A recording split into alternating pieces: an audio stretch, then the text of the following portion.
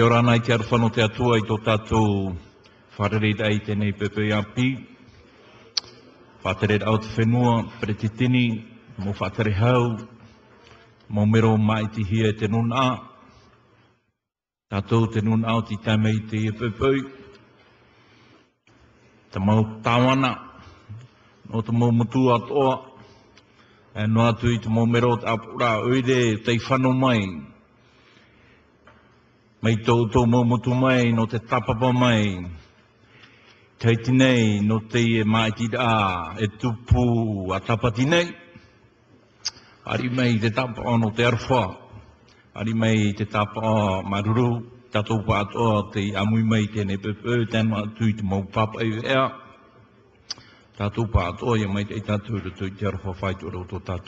bonjour tout le monde, Monsieur le Président, les ministres, les représentants, les médias, merci d'être présents ce matin, le public, je salue particulièrement également euh, les grands électeurs, les maires, les adjoints, les conseillers, tous ceux qui sont venus des îles pour euh, les élections sénatoriales de dimanche. Euh, bienvenue à, à vous tous. Voilà. Je demande au secrétaire général de donner lecture du projet d'ordre du jour. Monsieur le Président, la conférence des présidents réunie lundi dernier vous propose l'ordre du jour suivant. Point 1, approbation de l'ordre du jour. Point 2, discours du président de l'Assemblée de la Polynésie française. Point 3, discours du président de la Polynésie française. Point 4, discours sur le débat sur le discours du président de la Polynésie française. Point 5, examen de la correspondance. Et enfin, point 6, clôture de la séance. Voilà, Monsieur le Président.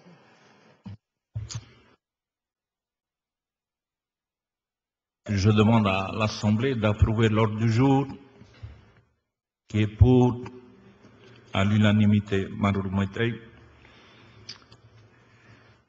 L'ordre du jour, donc approuvé, conformément à l'article 4 du règlement intérieur de notre institution, cette séance débute par un discours du président de l'Assemblée de la Polynésie, suivi de celui du président de la Polynésie française. Selon le même article 4, le discours du président donne lieu à un débat sans vote.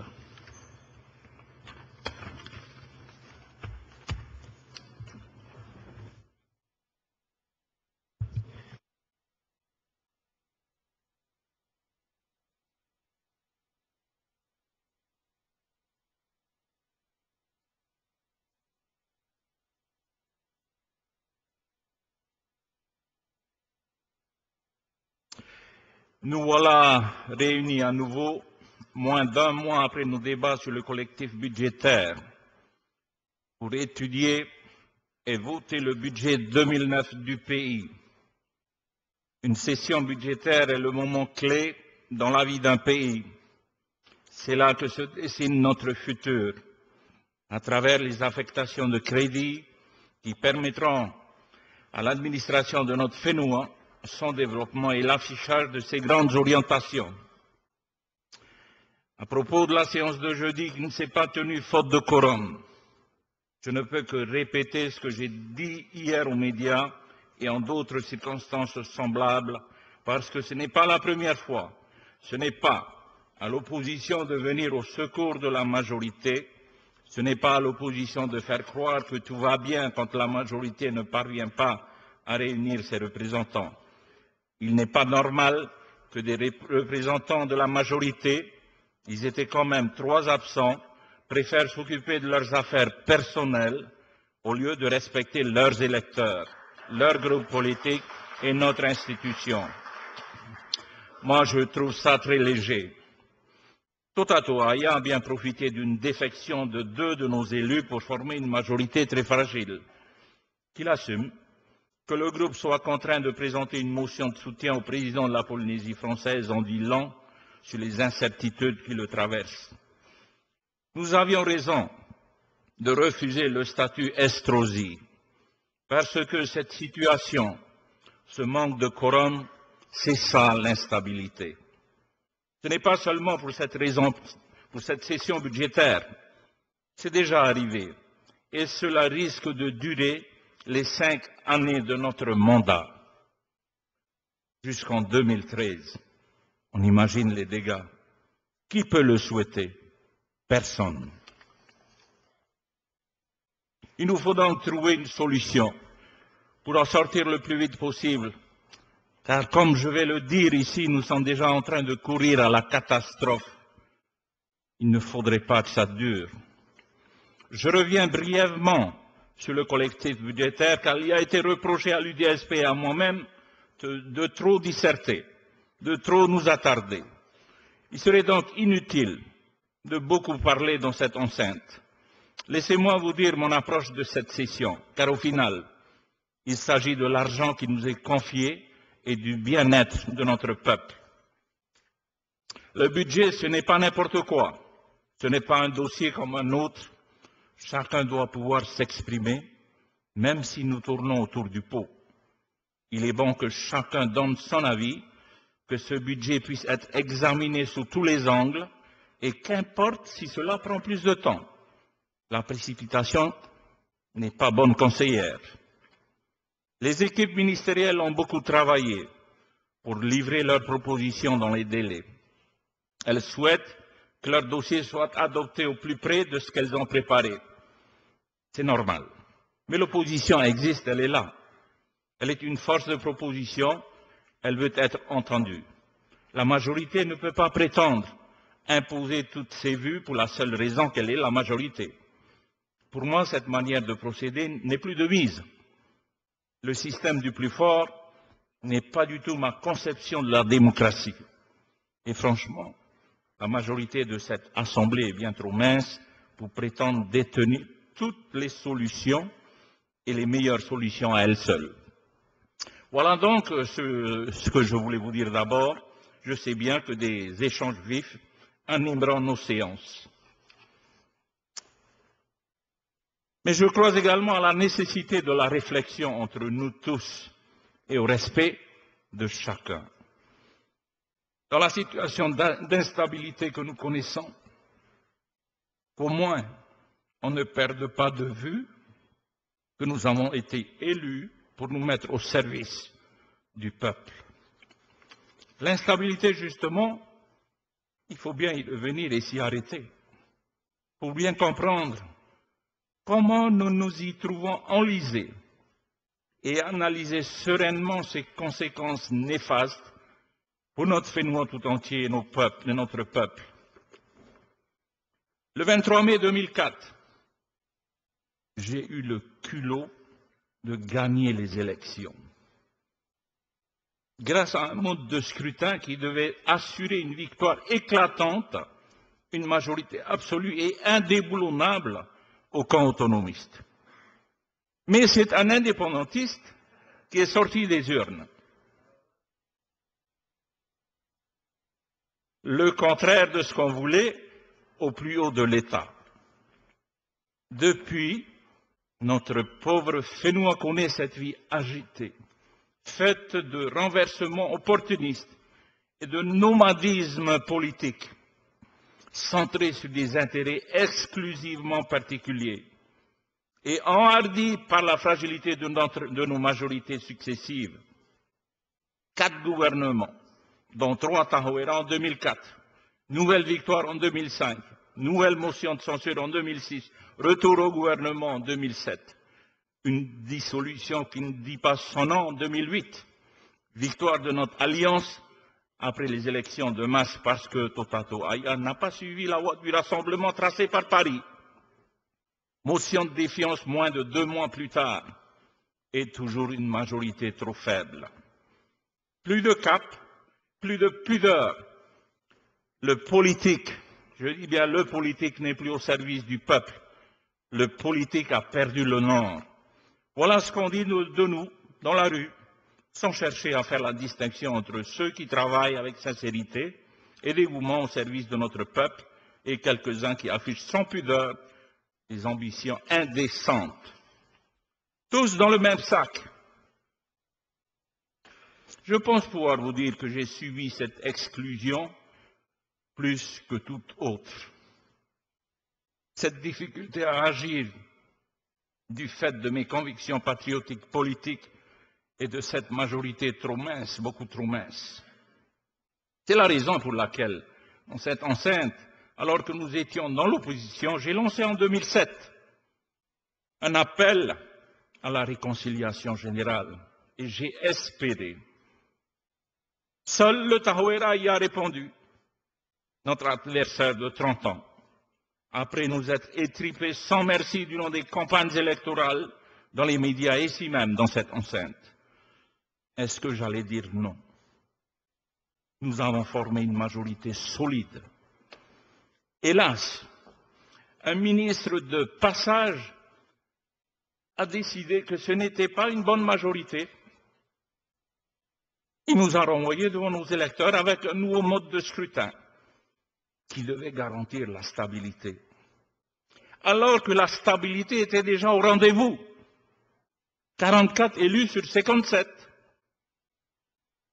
Il est vrai qu'on devait cette stabilité inespérée, inattendue, à une alliance soi-disant contre nature entre un ancien président chiracien et l'indépendantiste M. Temer, comme ils le disent là-bas. Pourquoi ces réticences et cette condescendance vis-à-vis des indépendantistes de ce pays Ils ne sont pas indépendantistes en France Nous sommes plus de 5 milliards d'indépendantistes à travers le monde. Il y a même des Tahitiens qui ont défendu la liberté des Français et d'autres qui ont participé aux campagnes qui ont permis à la France de tenir son rang parmi les puissances nucléaires. Comme si la paix et le retour de la stabilité pouvaient être contre nature. Cette entente contre nature existe bien en Nouvelle-Calédonie, n'est-ce pas? Elle est même inscrite dans les textes pour la formation du gouvernement. Une délégation de notre majorité s'y trouvait il y a peu. Elle a pu constater que ça marche bien. Alors, pourquoi ce traitement qui nous est fait Peut-être cet exemple pourrait nous servir pour sortir du piège, du piège de l'instabilité. Ce nouveau mode de scrutin imposé par le ministre courant d'air devait inciter, devait obliger même tous les autonomistes à se regrouper. Cette attitude désinvolte et inconséquente montre bien la légèreté avec laquelle on considère des pions qu'on placerait et déplacerait au gré d'intérêts qui ne sont pas les nôtres, des majorités qu'on défait pour qu'émerge une autre plus conforme aux vœux de l'État UMP.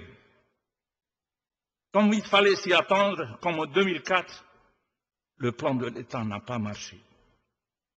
Et nous voilà repartis plus que jamais dans l'instabilité. J'ai déjà eu l'occasion de le dire et j'ai choqué. Mais je le répéterai encore et encore. L'autonomie n'est qu'un bout de papier. Elle ne remplacera jamais une constitution.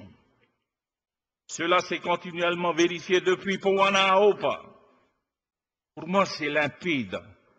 On nous trompe, l'autonomie est devenue une imposture, l'autonomie est moribonde. Nous avons tous, nous, les politiques, une responsabilité certaine dans cette déliquescence, mais l'État le premier, l'État UMP, qui n'a pas tenu son rôle en s'ingérant cyniquement et brutalement dans nos affaires. Monsieur le haut-commissaire, Monsieur Adolphe Colra. Je vous prie de m'en excuser pour ces mots. Je vous demande de ne pas vous offusquer. Vous êtes le représentant de l'État. Ce que je voudrais dire, c'est ma perception des événements qui nous ont conduits dans l'impasse, avec tout le respect que nous devons à l'homme et à la fonction. Ce que j'ai vécu, le non-respect du choix des électeurs pour le changement, exprimé loyalement dans les urnes, aucun Français de l'Hexagone ne l'aurait accepté. Cela ne serait jamais arrivé en France, c'est tout simplement inimaginable. Si un leader politique en France subissait un tel sort, mais il y aurait une révolution. Ici, chez nous, loin de la France, c'est normal. Aujourd'hui, si on devait se fier aux faits, À ces mots et coups portés à notre démocratie, il n'y aurait désormais plus que cette alternative. Être français à part entière, un département français, ou devenir rapidement indépendantiste. Je suis certain qu'aucun Polynésien n'envisage sérieusement l'intégration à ce point. Ce serait la négation de ce que nous sommes, une trahison vis-à-vis de nos ancêtres maoris, de notre culture, une démission devant nos enfants, les générations futures, et les défis qui nous bousculent. Quant à la souveraineté, que j'appelle de tous mes voeux, il nous faut revenir sur les engagements de la France devant les instances internationales, plus précisément sur cette résolution 1514 de l'Organisation des Nations Unies, qui fait obligation aux États qui gardent encore des territoires sous leur tutelle d'assurer leur développement économique, social et culturel, de respecter leurs ressources et de les accompagner vers la souveraineté lorsqu'ils en expriment la volonté. Alors, nous voilà bien obligés de poursuivre dans ce cadre boiteux avec une majorité qui n'est pas vraiment une majorité, une opposition très tentée de revenir au pouvoir en raison de cette faiblesse. Est-ce qu'en France, les, autorités savent ce que nous coûte l'instabilité? Chaque renversement voit les équipes dirigeantes changer. Il faut plusieurs mois pour mettre en place un cabinet ministériel, le rendre opérationnel. Et comme les politiques conduites par les uns et les autres diffèrent, la situation économique et sociale ne cesse de se dégrader. Combien cela nous coûte? Eh bien, je vais vous donner quelques chiffres. Tourisme, moins de 9% en dépit des sommes considérables consacrées à sa promotion. En dépit de la qualité de notre hôtellerie, de nos sites et de notre culture, non seulement nous n'atteignons pas nos objectifs, mais en plus nous régressons. C'est notre première industrie. Elle couvre l'ensemble de nos archipels. Et pourtant, moins 9%. Vanille, moins 24%. Monoï, moins 32%. Noni, moins 32%. Perle, moins 40%. Et poisson, moins 44% avec tout cet océan qui nous entoure. Au final de nos exportations couvrent à peine 10% de nos besoins. Ces chiffres constituent une véritable calamité et une remise en question de nos attitudes. Nos industries grandes et petites entrent en récession. Le commerce aussi et notre agriculture ne décollent toujours pas. Dans le même temps, les coûts augmentent et fragilisent davantage notre peuple. D'ici quelques mois, les travailleurs risquent de se retrouver au chômage par dizaines. Et le mouvement ne peut que s'aggraver si nous ne réagissons pas.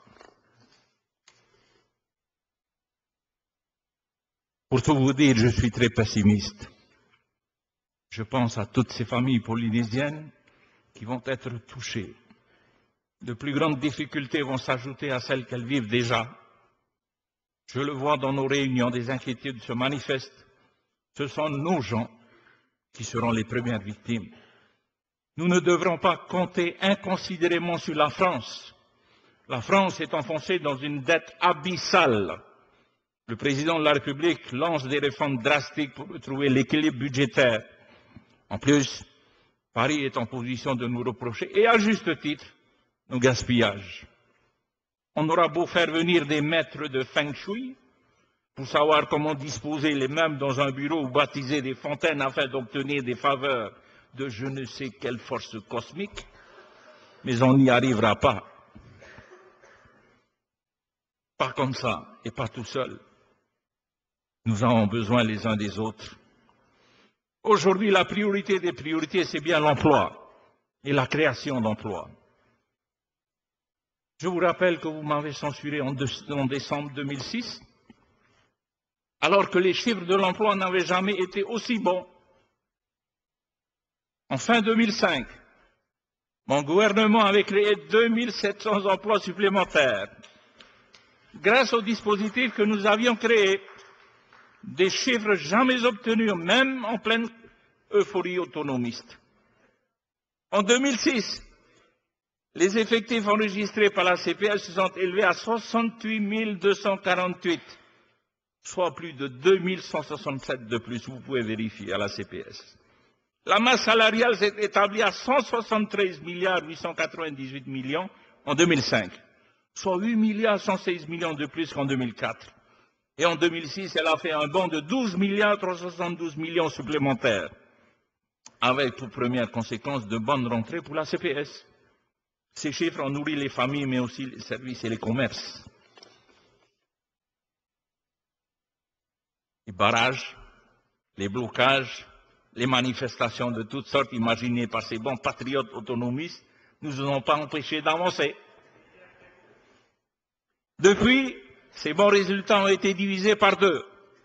Pourquoi n'avez-vous pas poursuivi ce que nous avions lancé et qui réussissait? En septembre de cette année, les chiffres ne sont pas encore connus, mais les commentaires de l'Institut de la statistique sont on ne peut plus alarmistes. Dans la construction, l'hôtellerie, la restauration et les services marchands, la situation de l'emploi est inférieure aux cinq années précédentes. Seule l'industrie montre une croissance de l'emploi très supérieure sur cette même période. Mais le regroupement des emplois salariés, tous secteurs confondus, donne une variation très inférieure aux cinq dernières années. Je n'invente rien. Ce sont les derniers commentaires de l'Institut de la statistique. Avec l'emploi, l'autre priorité que nous aimerions vous voir enfourcher, vous, Monsieur le Président du pays, et votre gouvernement, c'est la fiscalité. Les aides sociales et bien évidemment le coût de la vie. Et la justice sociale dans ce pays, réclamée depuis une cinquantaine d'années par M. Pouana Aoupa.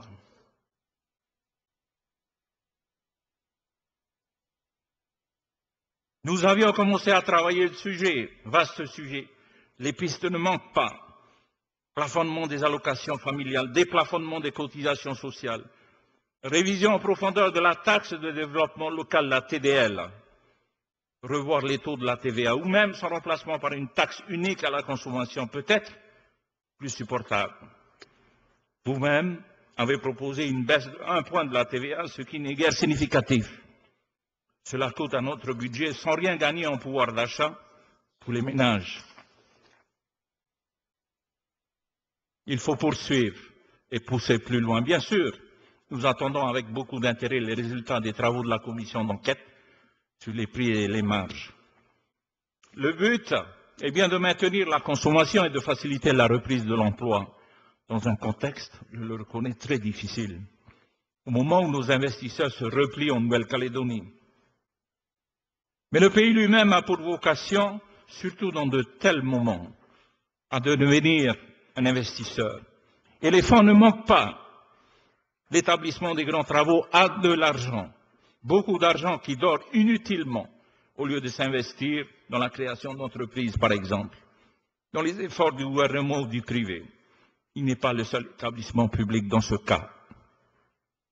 Je ne vais pas m'avancer davantage sur ce terrain c'est la majorité qui présente le budget, pas l'opposition, et encore moins le président de l'Assemblée. Ce ne sont que des vœux.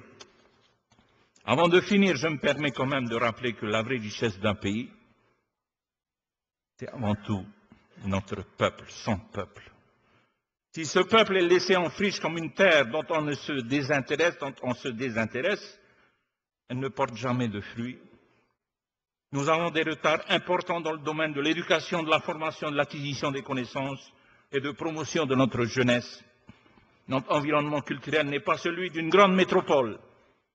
C'est un sérieux handicap. Cependant, les nouvelles technologies du numérique, l'Internet offrent d'immenses possibilités de s'ouvrir à tout ce que le monde peut nous apporter. Et cela ne coûte pas cher. L'école doit rendre l'ordinateur accessible à tous les élèves, y compris pendant les périodes de vacances scolaires, surtout pendant ces périodes. J'attire aussi l'attention sur une anomalie majeure. L'État a transféré de nouvelles compétences aux communes sans les financements qui les accompagnent, comme le stipule expressément la Constitution à l'article 72.2. Or, ces nouvelles compétences sont lourdes à porter. Je pense à la collecte et au traitement des déchets à l'eau potable et au traitement des eaux usées. Pour nous, la question est sans ambiguïté. L'État doit, doit, respecter la Constitution. L'État doit respecter l'institution communale en Polynésie française. Nous refuserons de nous substituer à l'État en puisant dans les fonds que ce dernier nous attribue au titre des essais nucléaires, imposés à notre peuple et à notre pays. Dans la situation que connaît le Fénois, nos propres besoins sont trop importants pour qu'on puisse se le permettre. Enfin, si l'État souhaite sincèrement que la Polynésie se développe et pèse moins dans le budget national, il doit finir par comprendre, au lieu de défaire les majorités qui ne lui conviennent pas, au lieu de fabriquer des majorités qui n'ont pas le soutien de la population, ou si peu, il est temps de nous accorder sa confiance et nouer un nouveau type de partenariat, comme de nous accorder ce droit que je qualifie naturel, de naturel, le droit de commercer avec nos voisins et au-delà. C'est ainsi que nous allons apprendre. Les grandes nations du Pacifique et celles qui bordent le Pacifique produisent en quantité et en qualité, à moindre coût que la lointaine Europe, et pour laquelle nous faisons de grands sacrifices financiers en ne taxant pas ces produits. Nous devons sortir de l'axe exclusif Popete Paris, Paris, Popete. Le président de la République, M. Jacques Chirac, puis M. Nicolas Sarkozy, ont tous les deux affirmé leur volonté de voir la Polynésie autonome mieux exercer ses compétences et s'intégrer davantage dans la région pacifique. Encore faudrait-il que la République fasse sauter les verrous qui nous barrent l'accès au dialogue et à l'échange avec nos fétis et voisins du Pacifique. Le commerce extérieur, ce n'est quand même pas la mer à boire. Cette revendication existe depuis Powana. Il ne s'agit pas d'une lubie. C'est ça la mondialisation.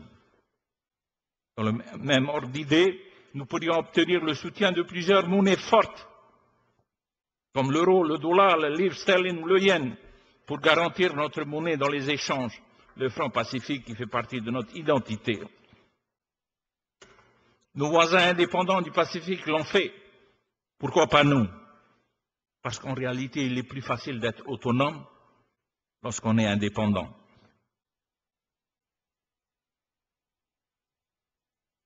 C'est pour des raisons identiques que la question majeure qui se pose à nous apparaît bien complexe dans ce cadre corseté qu'est devenu notre soi-disant autonomie. Comment en plus construire du durable sur de l'instable? Si votre budget nous persuade que c'est possible, alors nous le voterons avec vous. Mais je vous le dis,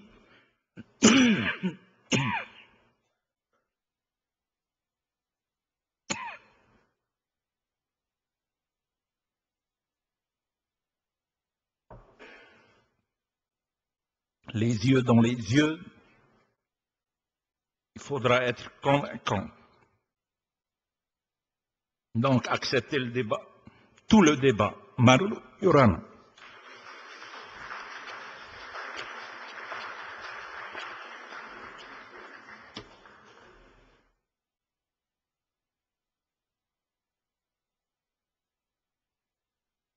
Monsieur le Président du pays, vous avez la parole.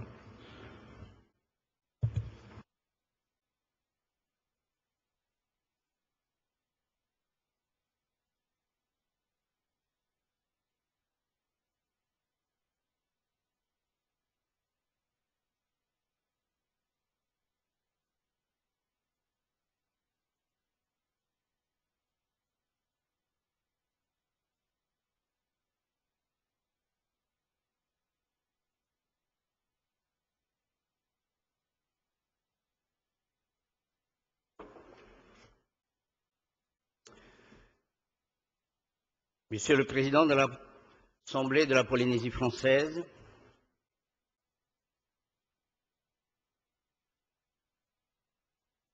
Monsieur le vice-président, Mesdames et Messieurs les ministres, Monsieur le sénateur, Mesdames et Messieurs les représentants à l'Assemblée de Polynésie française,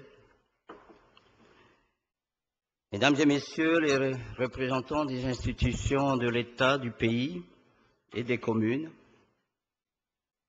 Mesdames et Messieurs les représentants de la presse, des médias, et je voudrais également m'associer aux salutations du président de l'Assemblée de la Polynésie française, aux grands électeurs qui nous regardent, aux maires, aux adjoints, aux maires délégués. Mesdames et Messieurs, chers amis, Yorana e mai ai tātou i te arwha tō tātou atua, i tō tātou te iamhana, o tō nā poro eha, no pori ni te ata atoa, e ia mai te ero o te riti te tō atua. La loi organique, Monsieur le Président, dispose dans son article 31.2 que dans un délai de deux mois précédant l'examen du budget primitif, un débat a lieu à l'Assemblée de Polynésie française sur les orientations budgétaires de l'exercice ainsi que sur les engagements pluriannuels envisagés. Cette obligation, cette obligation statutaire se conjugue avec des engagements pris par notre union majoritaire durant les élections. Engagement rappelé par notre gouvernement lors de sa prise de fonction à rendre compte régulièrement de nos actions dans un souci de clarté, de transparence et d'ouverture, avec la volonté de rétablir une confiance mise à mal par les aléas de la vie politique depuis plus de quatre ans. Ce débat d'orientation constitue un élément utile à la compréhension de l'action du gouvernement. Il doit également permettre de redonner une confiance solide et pérenne des acteurs, tant publics que privés, ainsi qu'à tous nos citoyens. J'ai la capacité des pouvoirs publics de gérer au mieux les fonds publics dans le respect, bien entendu, de l'intérêt général et en dépassant les querelles partisanes et les clivages politiques. Dans le respect de ces principes, je m'attacherai donc à vous présenter un compte rendu, succinct de l'année 2007, de dégager un premier état de constat des résultats de l'année 2008 et de tracer les grandes perspectives pour l'année 2009 et les suivantes. L'année 2007, n'ayons pas peur de le dire, a été pour notre pays une année difficile. Difficile du fait de l'impact de la conjoncture mondiale, mais aussi du fait des facteurs purement internes qui n'ont fait qu'aggraver notre situation économique. Pour l'économie mondiale, l'année 2007 a été l'année des chocs successifs. Hausse spectaculaire du prix du baril de pétrole. Hausse tout aussi vertigineuse du prix des matières premières et notamment celle des produits alimentaires. Forte dépréciation du dollar par rapport à l'euro. Crise immobilière grave aux États-Unis. Bref, un ensemble de causes qui ont entraîné une crise financière internationale à partir de l'été 2007. Ces hausses ont impacté directement nos prix locaux, quand bien même nos mécanismes de régulation auraient contribué à en retarder les effets. Je pense notamment au Fonds de régulation du prix des hydrocarbures ou encore à la réglementation sur les prix. Un simple chiffre illustrera mes propos. Le coût des transports maritimes et aériens, qui constitue un poste important dans notre structure des prix, a augmenté de près de 15% durant cette période. Ces particularités internationales ne peuvent à elles seules expliquer les difficultés de notre économie. Les facteurs internes sont tout aussi importants. Outre un ralentissement constaté, depuis le début de la décennie, l'instabilité politique chronique dont notre pays a souffert durant ces quatre années n'a fait qu'aggraver la situation. Cette instabilité permanente a privé les gouvernements successifs du recul nécessaire pour avoir une politique durable. Vous avez raison, Monsieur le Président de l'Assemblée de Polynésie française, de rappeler dans vos discours les effets de cette instabilité mais sommes-nous posé la question de savoir quelle est la cause de cette instabilité? Quelle est la cause de cette instabilité? Ce n'est pas la loi, ce n'est pas le monde du scrutin, c'est nous, la classe politique. C'est nous, c'est nous tous. Mais je m'étonne aujourd'hui que ceux-là même qui sont, la, qui sont la cause de l'instabilité politique crient en l'instabilité. C'est comme si ceux qui ont mis le feu à la maison crient au feu. Il faut savoir assumer ses responsabilités. J'assume ma part de responsabilité dans cette situation. Combien même? Ils auraient été animés de meilleures intentions. Je parle des gouvernements successifs. Cela a entraîné très rapidement une perte de confiance de l'ensemble des acteurs économiques et du corps social. Ce pourrissement de la vie politique s'est traduit aussi sur le plan des relations avec l'État par une quasi-rupture des liens conventionnels, nous privant ainsi des ressources qui confortaient notre budget. Les effets cumulés de ces facteurs nous les mesurons aujourd'hui. De nombreux secteurs de notre économie sont en panne, même si la capacité de réaction et la volonté de notre population ont permis d'atténuer les effets dévastateurs de notre inconstance politique. Pour résumer, cette année 2007, je ne citerai que quelques chiffres. Le tourisme, notre principale ressource, a baissé de moins 1,5% avec 218 241 touristes accueillis en 2007 contre 221 249 en 2006. Tous ces indicateurs cumulés ont donné corrigé des variations saisonnières, entraînent une baisse enregistré sur le secteur du tourisme de l'ordre de moins, 3,4%. Pour la pelliculture, la situation est encore plus difficile, avec une baisse du prix moyen de vente de moins 5,5% et des exportations qui stagnent à 12,1 milliards de francs pacifiques. Le déficit commercial se creuse à nouveau du fait de l'augmentation de nos importations et de la diminution de nos exportations. Le taux de couverture de notre balance commerciale s'établit sous la barre des 10%.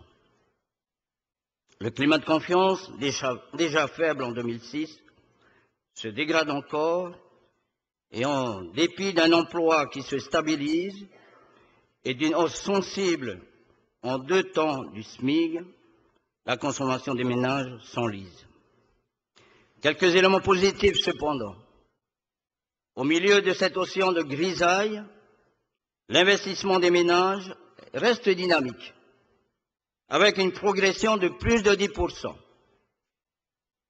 La politique budgétaire mise en œuvre par notre gouvernement durant les quelques mois où nous étions aux responsabilités, je parle de l'année 2007, a eu un effet positif sur l'économie. N'en déplaise à ceux qui nous accusaient alors d'immobilisme, j'en veux pour preuve le montant record des investissements du pays durant cette période à hauteur de 32 milliards de francs pacifiques. Pour l'année 2008, même si elle n'est pas encore achevée, nous pouvons d'ores et déjà constater que les tendances lourdes observées en 2007, malheureusement, perdurent. Cependant, grâce aux mesures correctives que nous avons apportées depuis notre prise de fonction, les premiers effets d'une reprise de la marche en avant de notre pays devraient pouvoir se mesurer d'ici à la fin de l'année et se développer en 2009. L'année 2008 sera donc une année en demi-teinte, en dépit d'une situation internationale toujours difficile et des résultats de certains de nos secteurs économiques encore très moroses, nous avons travaillé à restaurer ou à créer les outils qui conditionnent la relance de notre système économique et social.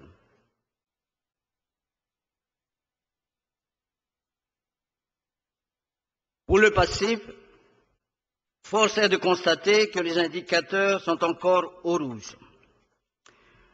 L'emploi salarié se dégrade au premier semestre 2008. Moins de 1300 emplois en moins au cours, à la fin des quatre premiers mois de l'année 2008, notamment dans les secteurs du tourisme, mais malgré l'embellie de la haute saison et de la construction, la consommation des ménages stagne, le tourisme, avec une baisse de moins 8,4% sur les sept premiers mois de l'année, et la pelliculture, dont la baisse des exportations en valeur devrait atteindre moins 8% à la fin de l'année, accentue leur dégradation et sont les conséquences de la politique d'immobilisme du dernier trimestre 2007. Tout ceci devrait conduire notre produit intérieur brut à une stagnation. Le tableau, ce tableau peut paraître noir, il n'en reflète pas moins la réalité des effets catastrophiques de nos avatars politiques sur la vie de notre pays. Fidèle au mandat que nous avaient confié les électeurs en février de cette année, et fort de cette majorité retrouvée, nous sommes attachés à restaurer ou à recréer les conditions nécessaires à la reprise de la marche en avant de notre Fénois. Il convenait en priorité de renouer le dialogue avec l'État, quasiment rompu depuis plusieurs mois. C'est ce que nous avons fait dès notre arrivée, avec deux missions à Paris, nous avons été reçus par les plus hautes autorités de l'État, avec en point d'orgue la signature du contrat de projet le 27 mai 2008 à l'Élysée par le président de la République euh, Nicolas Sarkozy en personne. Je rappelle que ce contrat, tant décrié par nos adversaires, nous garantit une enveloppe de 52 milliards de francs pacifiques de 2008 à 2013, financée à parité par l'État et le pays. Pour les grands projets structurants indispensable à l'avenir économique et social de la Polynésie dans les domaines de la santé, de l'enseignement supérieur, de la recherche, du logement social, de l'eau potable, de l'assainissement et des déchets. Il convenait ensuite de relancer au plus vite notre économie par la commande publique et l'activité du privé nous l'avons fait en réaffectant les moyens nécessaires. Ainsi, 22 dossiers représentant 22 milliards de francs pacifiques de projets et près de 700 emplois ont été retenus au titre du dispositif de défiscalisation par la commission consultative des agréments fiscaux. Toute la filière du bâtiment est concernée par cette mesure. En outre, 57 milliards de crédits d'investissement public ont été mobilisés ou redéployés pour l'année en cours. À ce jour, près de 40% sont engagés et nous devrions atteindre le chiffre de 60% à la fin de l'année, soit 34 milliards de francs pacifiques en réalisation. Vous pouvez constater dans la presse le retour des avis d'appel d'offres ou de marché public. Les premiers effets réels sur notre économie sont déjà sensibles. Il convenait enfin de restaurer la confiance en l'avenir de notre pays et en ses capacités d'innovation et de mobilisation. Nous avons entamé une démarche de rencontre et d'explication avec l'ensemble des acteurs de la vie économique et sociale, ainsi que de notre population.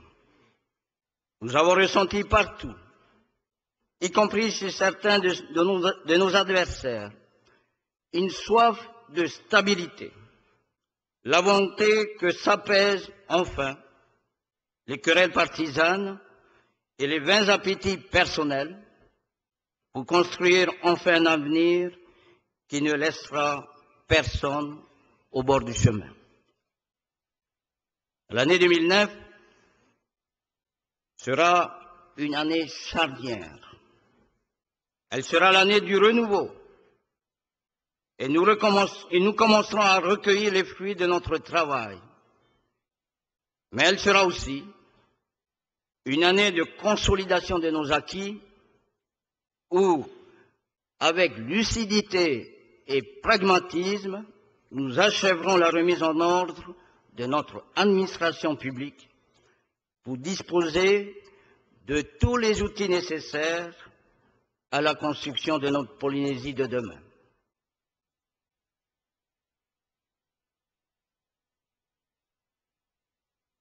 Pour ce faire, nous nous appuierons sur quelques grands principes forts qui étaient le programme de notre majorité. Une nouvelle gouvernance fondée sur le dialogue, la transparence et l'ouverture pour redonner son sens aux principes démocratiques qui régissent notre société. N'est-ce pas que cette majorité qui a permis la présence de, l'opposition dans toutes les commissions internes et dans toutes les commissions externes? Alors, précédemment, on n'avait pas droit à une seule place dans une commission externe du pays.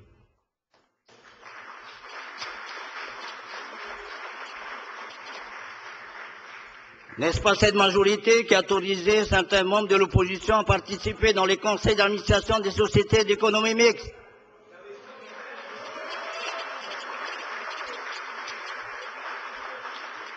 Je tiens ici à remercier notre président de l'Assemblée de Polynésie française d'avoir dépassé le clivage politique.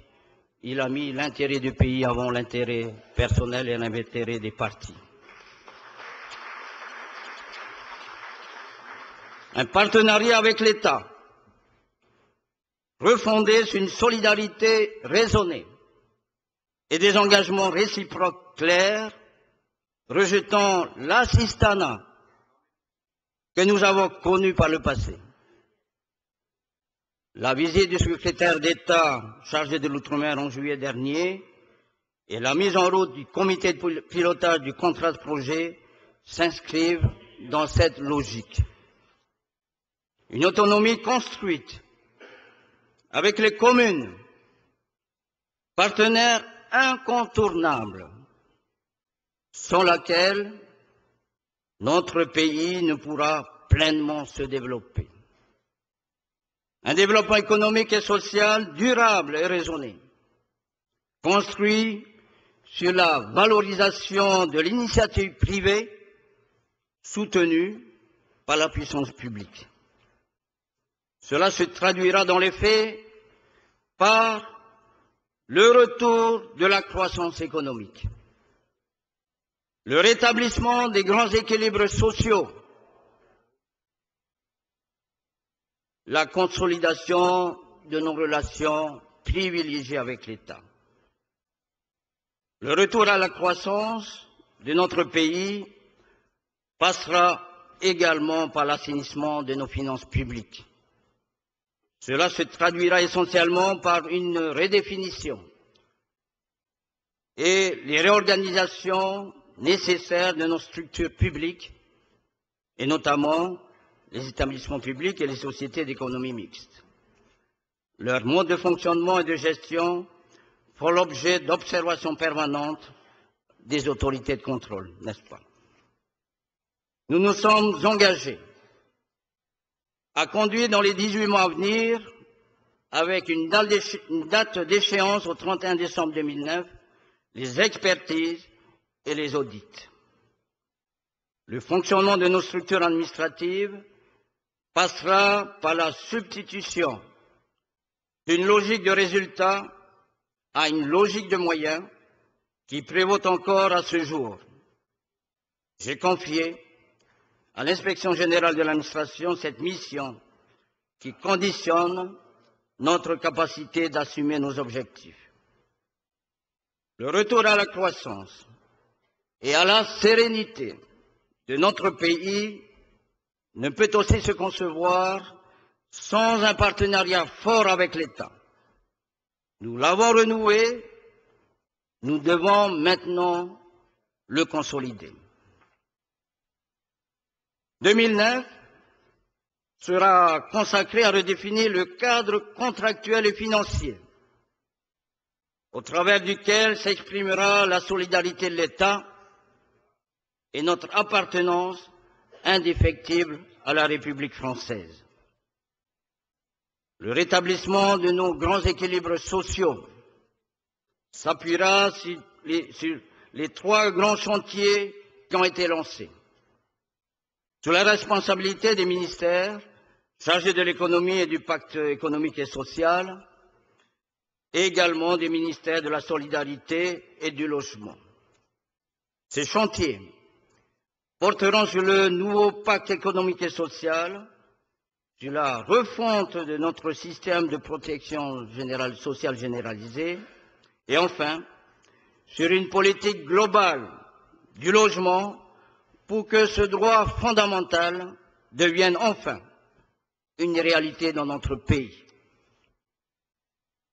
Le rétablissement de nos grands équilibres sociaux s'appuie aussi sur une politique de la santé permettant de donner aux Polynésiennes et aux Polynésiens une offre de soins, du meilleur niveau.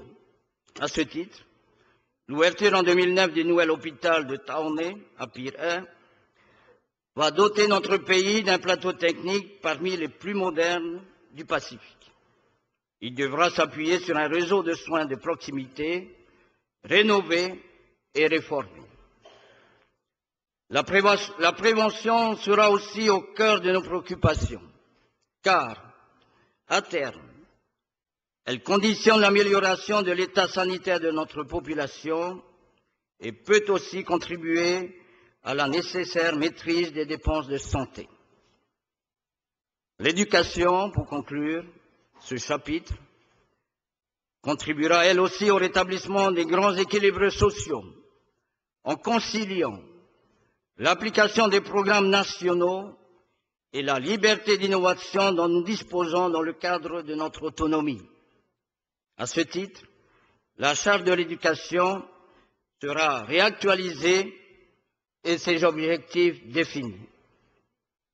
Le programme de construction scolaire sera, accéléré avec l'ouverture de la mise en chantier en 2009 de divers établissements nouveaux, implantés selon les besoins définis par la carte scolaire, Pour ne citer que quelques-uns, il s'agit du collège de Teveita, du lycée Amoria et du collège de Borobora. Nous voulons enfin asseoir définitivement et pérenniser la croissance de notre économie, que ce soit au plan de la confiance des acteurs économiques et sociaux qu'à celui de la construction de notre autonomie. La confiance ne se décrète pas. Elle se vit. C'est au travers d'une stabilité institutionnelle retrouvée autour d'une majorité unie, de la claire affirmation d'une Polynésie autonome au sein de la République, d'une gouvernance rénovée et transparente autour d'objectifs précis, d'une volonté de dialogue et de réunification autour du même idéal, d'une société plus juste et plus solidaire. Bref, c'est au travers de ces axes forts que nous redonnerons à notre population le goût d'entreprendre et la volonté de vivre ensemble en rejetant toutes les formes rampantes de communautarisme qui nous menacent. Notre relance économique, indispensable pour garantir une réelle autonomie, s'appuiera sur la mobilisation des énergies et des forces vives du pays. Le secteur privé devra être le moteur de ce renouveau. Le tourisme sera au cœur de ce dispositif. J'ai assigné à mes services et à nos partenaires l'objectif de doubler les recettes touristiques dans la décennie à venir. Les secteurs primaires et secondaires ne seront pas oubliés. L'agriculture et la pêche devront conforter notre autonomie en matière alimentaire. Il en sera de même pour les secteurs de la production d'énergie, où nous devrons, à moyen terme, viser à réduire de manière significative notre dépendance à l'égard des énergies fossiles. Notre gouvernement soutiendra cette marche en avant au moyen d'une politique d'exonération fiscale redéfinie. Un projet devra vous être fourni en ce sens au cours du mois d'octobre et d'une incitation fiscale à l'investissement. Bien, évidemment, les constructions publiques tiendront aussi compte de cet objectif. Le secteur social ne sera pas en reste au travers d'une grande politique de l'habitat et d'assistance aux familles en difficulté, grâce notamment à la mise en place d'une formation à l'usage des parents.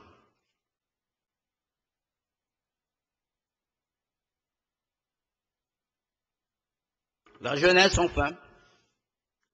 Notre richesse et notre avenir, pour laquelle, en vue de rompre avec nos politiques sectorielles, je compte, durant cette année 2009, mettre à l'étude la création d'une délégation interministérielle à la jeunesse, dont l'objectif sera de coordonner une politique globale et transsectorielle, prenant en compte l'ensemble des préoccupations des jeunes pour que nous leur donnions enfin la place qui doit être la leur dans notre pays. J'arrêterai là mon énumération de tous les grands projets que nous souhaitons développer durant les années à venir. Sachez simplement qu'aucune activité qui concourt au développement économique et social de notre pays ne sera oublié. Je pense notamment au sport et à la culture, si présents dans la vie de notre pays. Au titre, au titre des affaires européennes, je souhaite redéfinir nos relations avec l'Union européenne dans le domaine de la coopération, des échanges commerciaux et des partenariats financiers. Nous engagerons dès cette année les travaux nécessaires à la prise en compte des intérêts de la Polynésie française dans le cadre de l'évolution statutaire des pays et territoires d'outre-mer, PTOM, prévue en 2013. Ainsi, la Polynésie française sera plus à même de renforcer ses relations avec l'Union européenne et de définir de nouvelles bases de partenariat. En outre, j'entends favoriser la mise en place d'accords de coopération avec les autres pays et territoires du Pacifique, dont plus particulièrement la Nouvelle-Calédonie, où je conduirai une délégation du gouvernement au cours du mois d'octobre. Le renforcement de la coopération régionale permettra de conforter l'intégration de la Polynésie française au sein de la communauté des pays du Pacifique et asseoir, par notre intermédiaire, le rayonnement de la France dans la région. Enfin, nous devrons conforter notre autonomie, une autonomie forte, forte de nos spécificités, mais une autonomie que nous voulons vivre avec la France. Je vous ai précisé plus avant que nous ne pouvions pas concevoir notre autonomie sans nous appuyer sur les communes qui constituent le fondement de la démocratie et l'échelon le plus proche des besoins et préoccupations de nos populations. Nous développerons nous développerons donc les synergies entre les pays et les communes en leur transférant, si elles le souhaitent, la gestion de certains actes essentiels à la vie courante en assortissant ce transfert de moyens nécessaires. Dès 2009, une enveloppe spécifique de 3 milliards sera inscrite et garantie dans la dotation globale de développement économique octroyée par l'État. Elle sera abondée de 1,5 milliard correspondant à l'impôt foncier et diverses redevances, notamment en matière de concessions maritimes. L'achèvement de la réforme des collectivités locales sera aussi au rang des priorités de notre gouvernement, car nous souhaitons les accompagner et définir avec elles les nouvelles règles de collaboration que cette autonomie impliquera. Vous voyez que nos ambitions sont grandes, mais elles sont à la mesure des attentes de notre population. Je ne vous livrerai, livrerai pas aujourd'hui le détail de la transcription de ces objectifs en matière, budgétaire, ce sera l'objet du très prochain débat d'orientation budgétaire.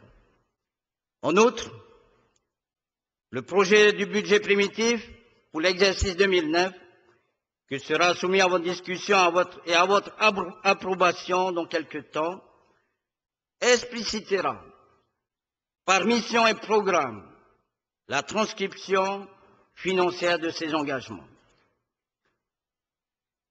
La transcription financière de ces objectifs ne peut se concevoir sans des choix et une programmation dans le temps et en fonction des priorités. Notre démarche, notre démarche en la matière sera soutenue par une volonté sans faille, mais une volonté raisonnée qui tiendra compte de nos capacités techniques et financières. Pour autant, nous nous sommes assignés des échéances ou des objectifs à réaliser. Je rappelle notre volonté de doubler les produits de l'industrie touristique dans les dix ans à venir, ou encore parvenir dans, dans, un délai de 20 ans à couvrir 50% de nos besoins en énergie par des énergies renouvelables. Pour 2009, je ne vous citerai que deux objectifs. Avec mon gouvernement, nous nous engagerons à accélérer le rythme de consommation des crédits publics et à engager, à dépenser, à liquider 36 milliards de francs pacifiques pour l'année 2009. Quant à l'investissement privé, il disposera d'un dispositif de défiscalisation renouvelé et plus incitatif, assorti des crédits nécessaires au démarrage des projets. Pour conclure, Monsieur le Président de l'Assemblée de Polynésie française, je voudrais conclure sur une note d'espoir et d'optimisme. Nous avons besoin de toutes les énergies et de toutes les bonnes volontés pour construire la Polynésie de demain à laquelle chacun aspire. Une Polynésie où chacun trouvera sa place et pourra vivre dans la paix et le respect de tous. Une Polynésie forte, prospère, engagée, solidaire. Une, Polynésie fière de sa culture et de, et de ses racines. Mais une Polynésie ouverte sur son environnement et sur le monde. Cette Polynésie, maître de son destin et de son autonomie au sein de la République française, nous devons la construire ensemble et non pas les uns contre les autres. Je formule des vœux pour que ce grand dessein nous rapproche pour notre avenir et l'avenir de nos enfants. Nous devons leur donner un pays à l'image de la Polynésie que nous ont légué nos parents, belle, heureuse, où il fait bon vivre. J'invite toutes les personnes de bonne volonté à travailler avec nous dans ce sens. Merci de votre attention. Yoran.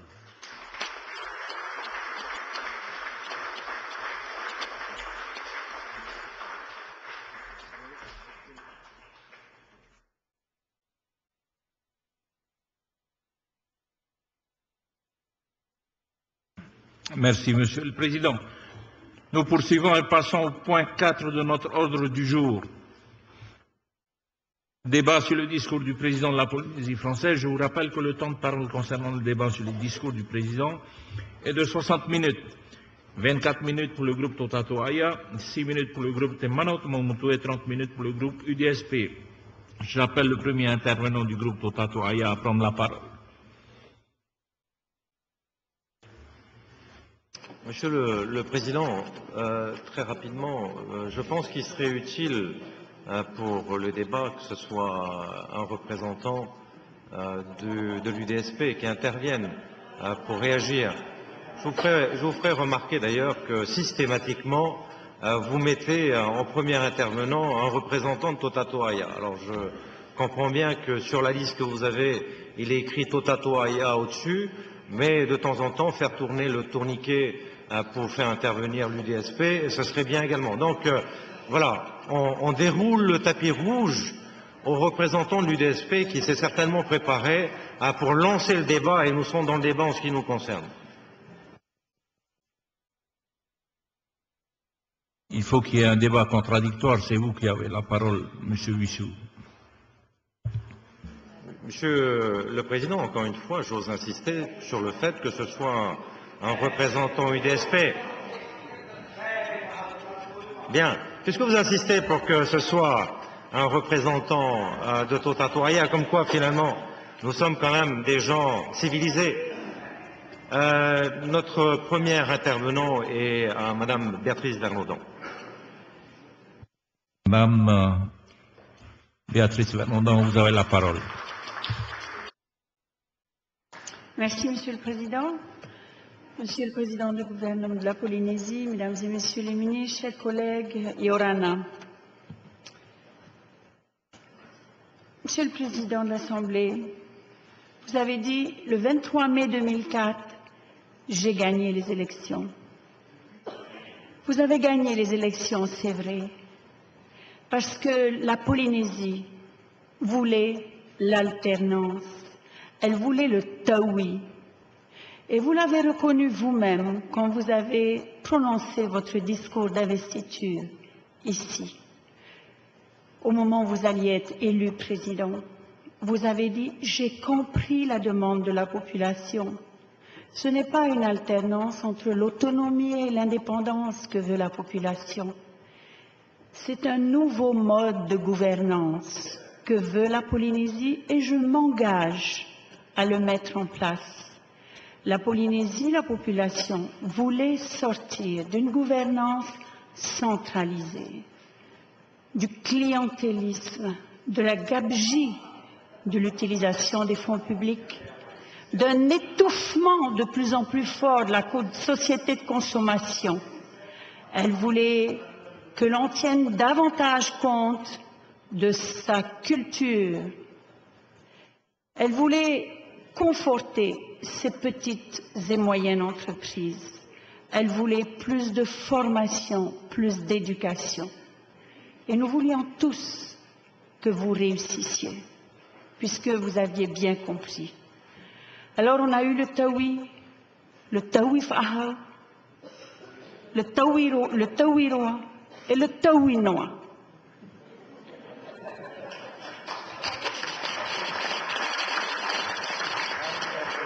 Aujourd'hui, Monsieur le Président, ce qui a fondé le rassemblement de huit partis pour créer Totato Aïa, au moment où nous devions retourner devant les électeurs. C'est cette nouvelle gouvernance.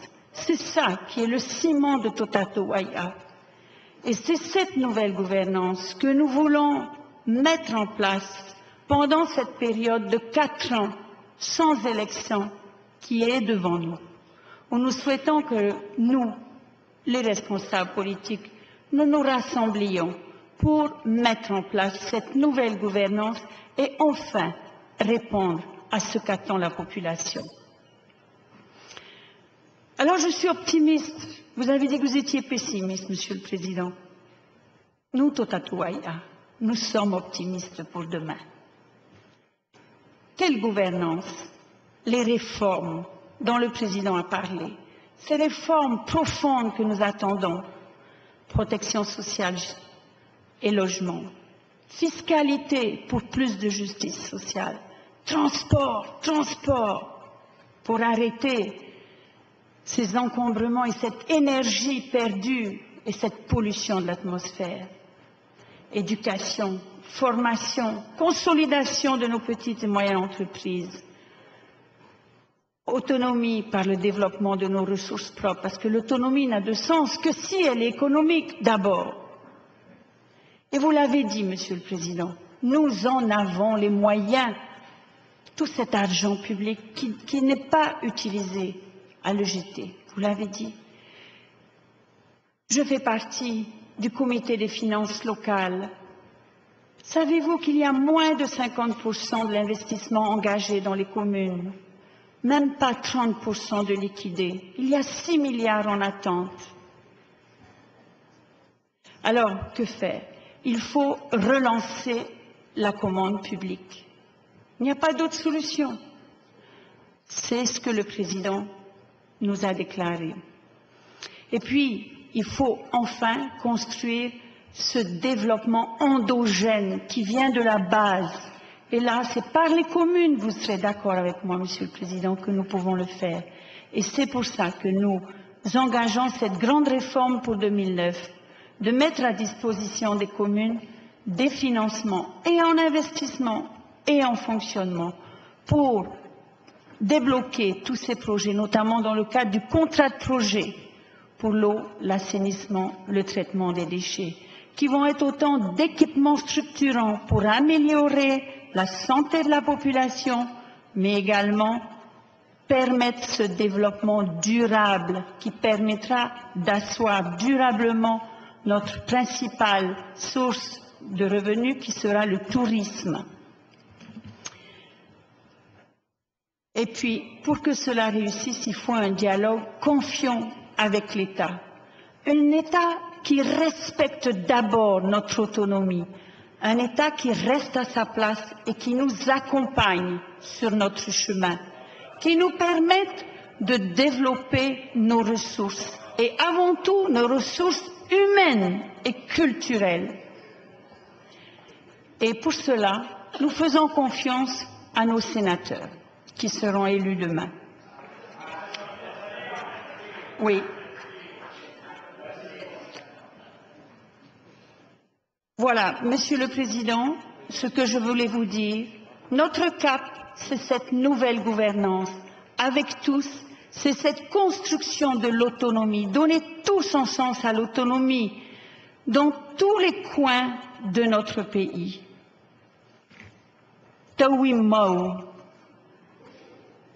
C'est ce qu'attend la population et c'est ce que nous voulons, avec elle, construire durant ces quatre années qui viennent. Et nous voulons vous dire que nous faisons toute confiance pour cela à notre gouvernement et à son président. Merci.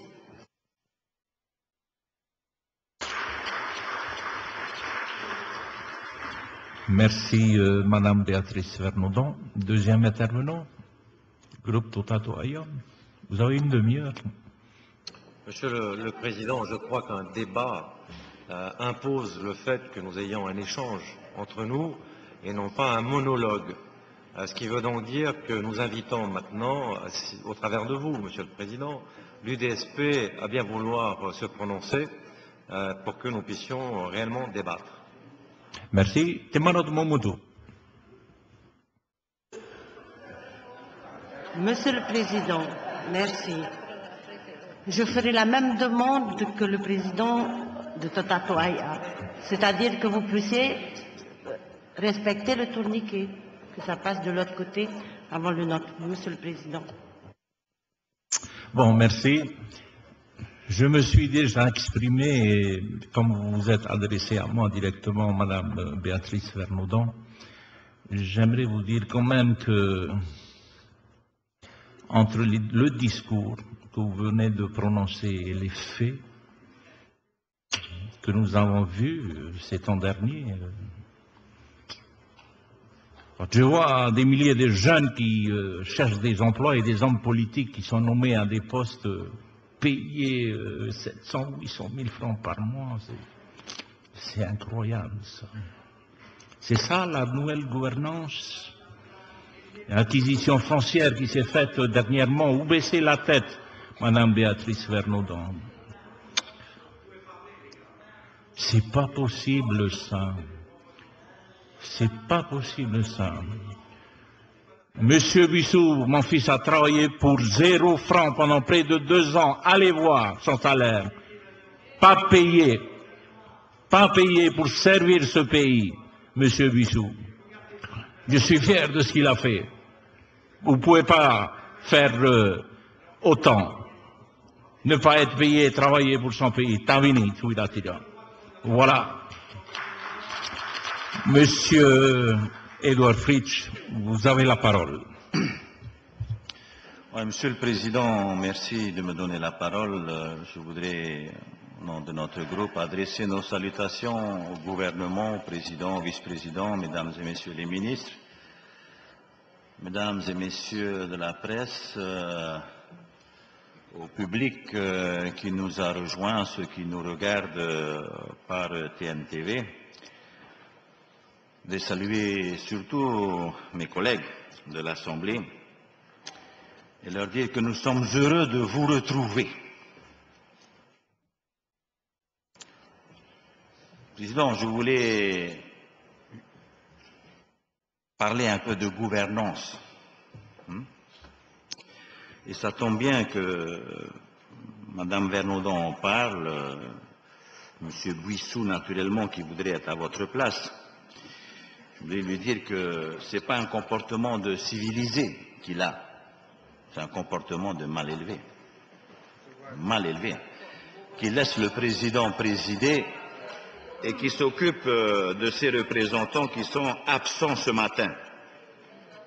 Vraiment, on a l'impression que Totato Aya ne s'intéresse pas du tout à ce que va dire son président. Monsieur le Président de la Polynésie, voici maintenant près de sept mois que vous occupez vos fonctions. Vous venez de prononcer, en fin de compte, votre premier vrai discours devant notre Assemblée en tant que président de la Polynésie française. Permettez-moi à mon tour, au nom de notre groupe UDSP, de faire le bilan de ces sept mois. Je vous ai écouté attentivement, mais vous ne serez pas surpris que je vous dise que je ne partage ni votre point de vue, ni naturellement celui des élus qui vous soutiennent. Le 15 avril dernier, vous avez présenté ici même une motion de défiance qui a conduit à la chute du gouvernement présenté par M. Floss et à votre élection de fait. Les motivations de cette motion de défiance s'appuyaient sur six grands axes. Je vous les rappelle car il semble que vous ayez complètement oublié les grands principes que vous énonciez. Premier principe, instaurer la réconciliation entre les Polynésiens. Le deuxième, assurer la stabilité politique et institutionnelle. Le troisième principe, établir durablement des relations confiantes et apaisées avec l'État. Le quatrième, relancer le processus de développement de l'économie polynésienne. Le cinquième, réformer les comportements politiques et les modes de gestion de l'action publique. Et enfin, dernier principe, préserver l'unité de notre pays, de la Polynésie française. Quel constat pouvons-nous tirer au bout de cinq mois de gestion au regard de ces principes? Ces constats, ce sont ceux d'une faillite morale, d'une faillite économique et d'une paralysie de l'action publique. Vous souhaitiez, vous vouliez, à l'instar de votre mentor, Christian Estrosi, assurer la stabilité politique et institutionnelle. C'est un échec sur toute la ligne. C'est un échec parce que vous portez en vous les germes de l'instabilité et de la corruption morale pour ne rester que dans ce registre. Au oisho te fifi, te tumo te fifi o. Vous avez vous-même été le principal acteur de l'instabilité politique. D'abord, en refusant la main que je vous ai tendue au lendemain des élections, à la demande de M. Gaston Floss, afin que nous puissions tous ensemble, tous ensemble, continuer et constituer surtout une équipe forte, stable, cohérente et prendre en main, toujours ensemble, les destinées de notre chère Polynésie. Vous avez refusé ma main tendue, mon pauvre Gaston. Puis à peine 50 jours après l'élection du président Gaston Floss, vous avez renversé son gouvernement grâce au ralliement de deux représentants élus sur des listes UPLD des listes UPLD où il y a des indépendantistes. Quelle ironie, quelle ironie pour quelqu'un qui n'a eu de cesse de dénoncer l'alliance contre nature entre le Tahawera et l'UPLD. Ce pacte avec le diable naît d'un rapprochement entre autonomistes et indépendantistes. Quelle ironie, parce que votre élection, en fin de compte, en tant que président de la Polynésie française, vous la devez aux voix de tous ces indépendantistes qui ont fait confiance à Michel Yip et à Justine Théoura. Vous avez été élu grâce au détournement de voix indépendantistes. Mais un naroto ite iyar a o itereo o te UPLD ei mana mai ei oe ei peretitini. Bravo, bravo. Te praumeira tau taa, Tony Zeros, me naroto i te maferara. Tereo, Pour paraphraser vos propos lors du vote de la motion de défiance, je dirais, et là je vous cite, cette élection n'était pas morale parce qu'elle s'est faite au prix de la trahison. Et oui, au prix de la trahison des principes moraux dont vous vous êtes fait le champion devant l'opinion publique.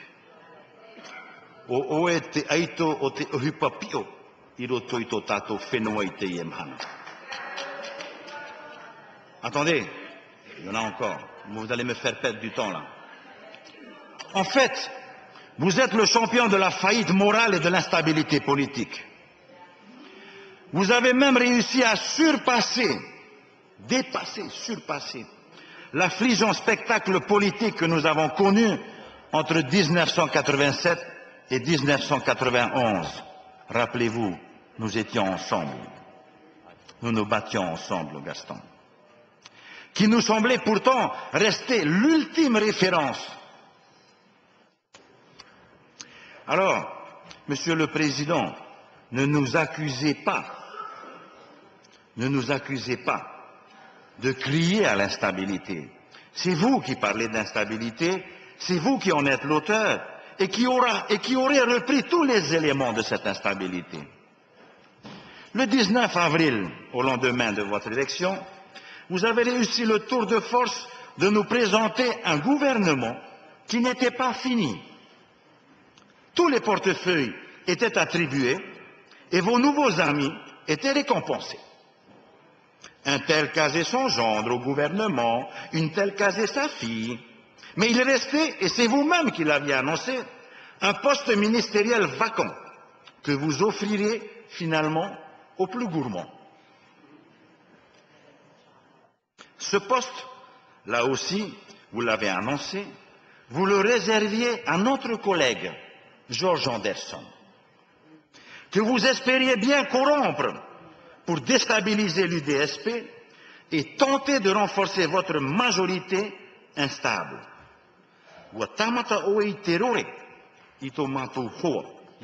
Anderson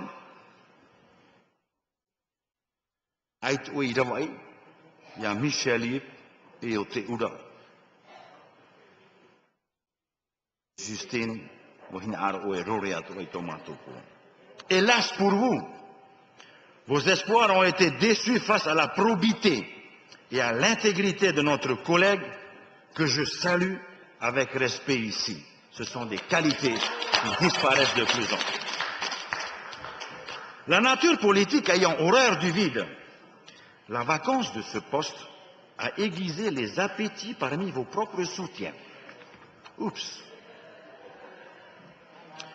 Dans votre distribution des récompenses, vous aviez oublié Louis Frébeau, l'indispensable ministre de l'équipement, qui s'est empressé de vous le rappeler, de vous rappeler même à l'ordre, en allant rendre visite à Gaston Floss, en compagnie de son épouse. Et j'y étais là.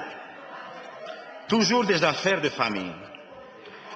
Quelques jours après un fructueux voyage à Las Vegas, le 30 avril, il vous obligeait à procéder à votre premier remaniement ministériel et à le nommer ministre. Onze jours, onze jours, déjà un premier remaniement. Voilà le bilan. Non mais écoutez, écoutez-moi, écoutez-moi.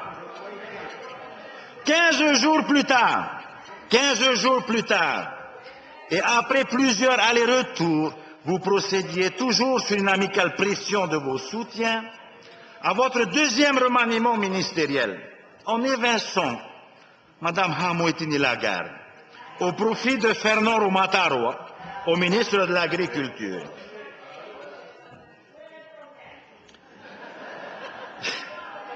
Je ne parlerai pas des remaniements discrets que vous avez dû opérer en redistribuant certaines attributions pour corriger des erreurs de casting ou pour euh, taire des susceptibilités. Et on nous annonce que, sans doute après les élections sénatoriales, vous allez devoir à nouveau procéder à un nouveau remaniement.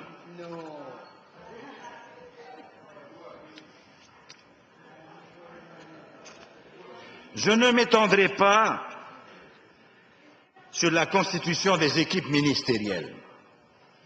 Là encore, vous énoncez de grands principes et beaux principes de gouvernance.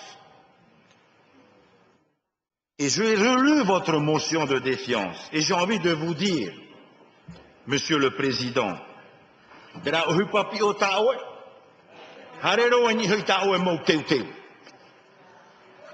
on aurait pu croire qu'ils étaient respectés, ces fameuses euh, déclarations, ces fameux grands principes.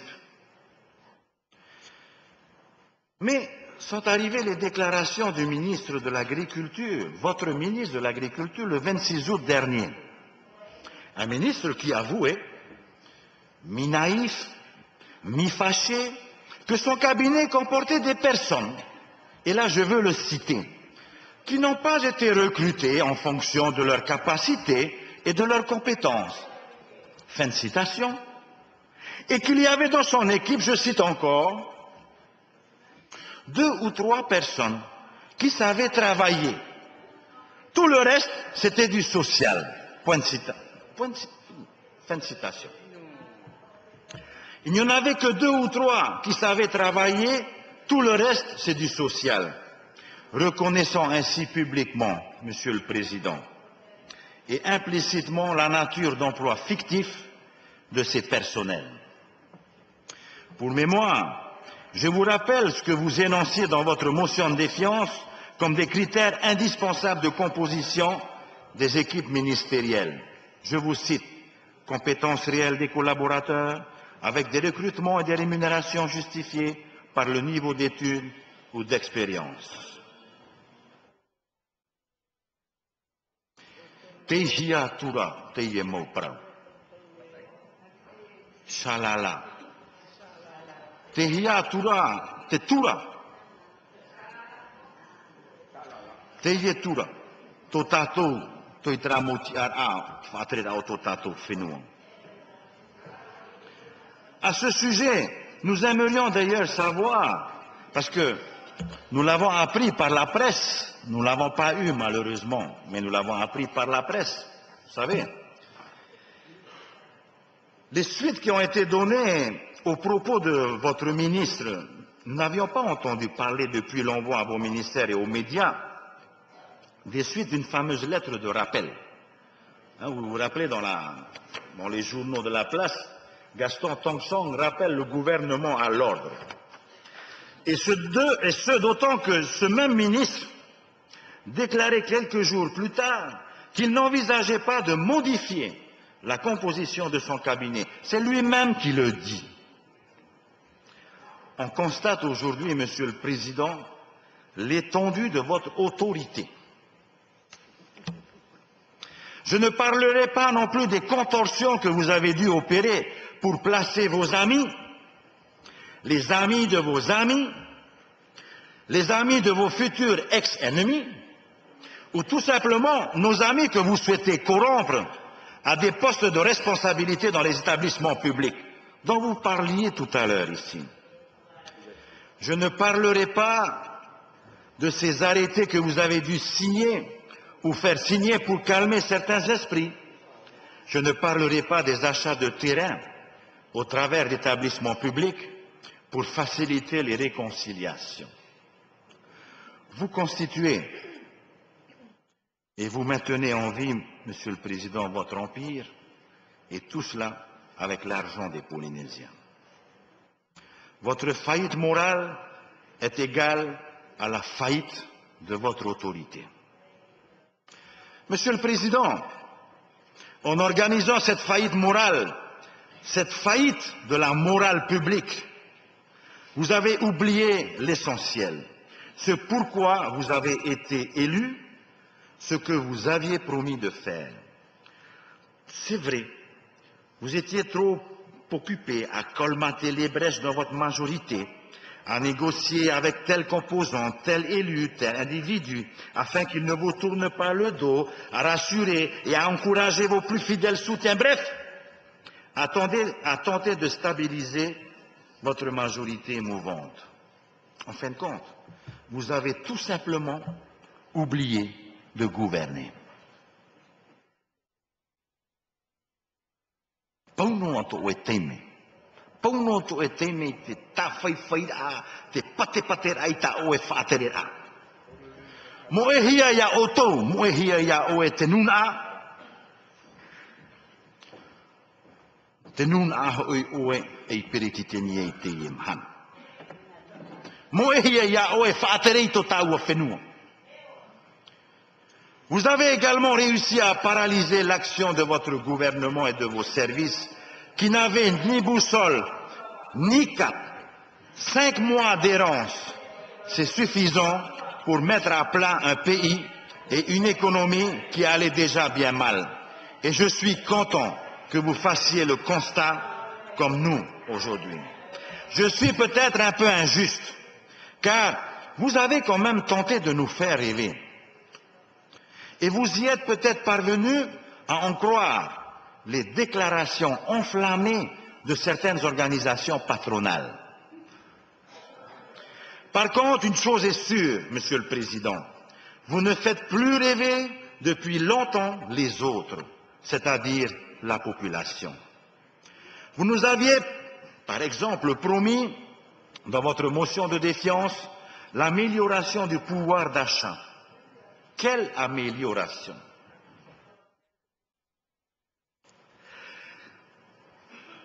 Depuis le 1er janvier, la hausse des prix a atteint près de 4%. Ce n'est qu'une moyenne, mais c'est déjà un chiffre important. Cette hausse atteint 4,4% pour ce qui concerne les seuls produits alimentaires. Que dire des 19% d'augmentation des carburants que vous avez décrété au mois de juillet, ou des 10,7% d'augmentation pour l'électricité, ou des 11,4% d'augmentation pour le gaz. Et encore, il ne s'agit que des hausses qui frappent les habitants de Tahiti. Que dire du pouvoir d'achat des ménages dans les îles qui doivent en plus supporter le prix du fret qui a lui-même augmenté de 10%. Je vais vous citer un exemple. Otuamotu. Ça fait, ça fait rire ceux qui s'enrichissent, mais c'est dramatique. Au Tuamotu, un, feu de, un fût de 200 litres d'essence se négocie à 36 000 francs. Étant entendu que l'essence ou le mazout ne s'achète pas au litre dans ces îles. Au Tuamotu, qui peut construire sa maison quand on sait que la palette de parpaing ou la palette de ciment est vendue deux fois et demi plus cher qu'à Tahiti? Je vais vous citer des chiffres. Le parpaing de 10 cm s'achète à 23 095 francs ici à Papeete. Arrivé au, Tuamotu, il en coûte 23 000, il en coûte, pardon, 56 695 francs au Paumotu. Le ciment, le ciment s'achète ici la palette de 40 sacs à 42 224. Arrivé au Tuamotu, il en coûtera 102 224 francs. Te hanei o tau te mautia o te maumotu roto i te ienei, a pōrāra hei. Te hanei o tau. A imina te rāwe anō to o tau hui da atira, ia huru mai ta iri i mai. Ia o tau e mai ti mata pōnoa. Haman o i rātou, o te hapar hei o tau i unei. Où est l'amélioration de ce pouvoir d'achat pour nos compatriotes des îles dont la majorité, je vous rappelle, est inscrit au RSPF. Plus encore que ceux de Tahiti, ils supportent de plein fouet les augmentations des prix. Et comme si les augmentations des prix ne suffisaient pas, vous, vous en suggérez d'autres, Monsieur le Président. C'est ainsi que la semaine dernière, parce que nous écoutons de temps en temps Radio One, pour répondre aux patrons qui s'inquiètent de la revalorisation du SMIC, n'est-ce pas, Monsieur Frébeau, due à l'inflation galopante, vous avez déclaré qu'ils n'avaient qu'à augmenter les tarifs de leurs prestations pour faire face à l'augmentation de leurs charges. Je n'invente rien. Vous avez incité les patrons à augmenter les tarifs de leurs prestations.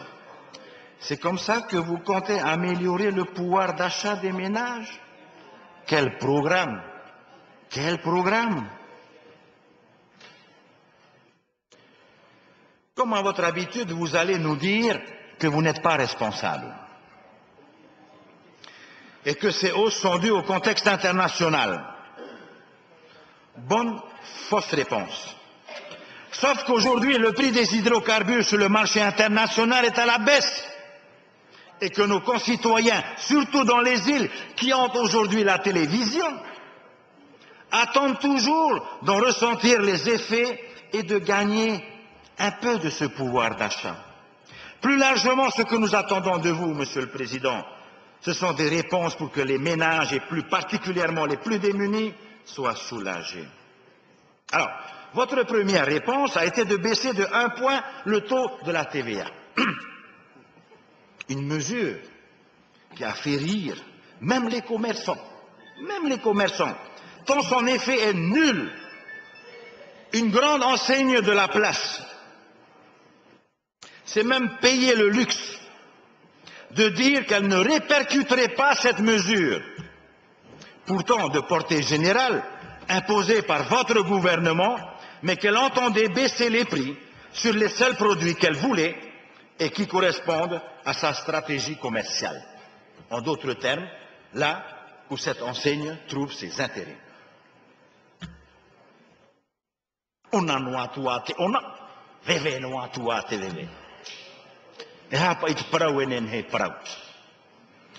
on attend d'ailleurs toujours que le ministre des Finances, non, le ministre de l'économie, non, le ministre des Finances peut-être, qui va faire les contrôles? Non, j'ai plus confiance en Georges Puchon. On voit les contrôleurs dans ces magasins, comme il nous l'avait promis, pour vérifier que la baisse de la TVA serait bien répercutée. Votre deuxième réponse, elle est intéressante aussi, a été de faire voter par votre majorité après bien des vicissitudes, d'un collectif budgétaire présenté comme devant booster comme jamais la commande publique, redonner de la vigueur à certains de nos établissements publics, soutenir l'activité économique et consolider l'emploi. On sait qu'aujourd'hui, tous les cas, c'est vrai qu'il n'y a pas très longtemps, mais on sait aujourd'hui que la montagne de la relance économique que vous aviez concoctée est inopérante. Elle a accouché d'une petite souris.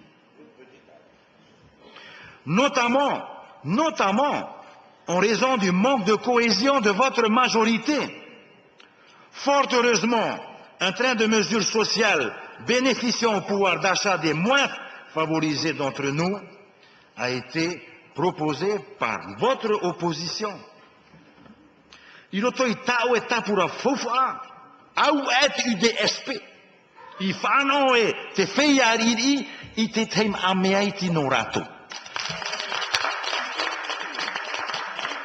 Alors, quand on entend parler, Monsieur le Président, de justice sociale et de, de réforme au niveau, voilà la justice sociale. Pensez aux petits.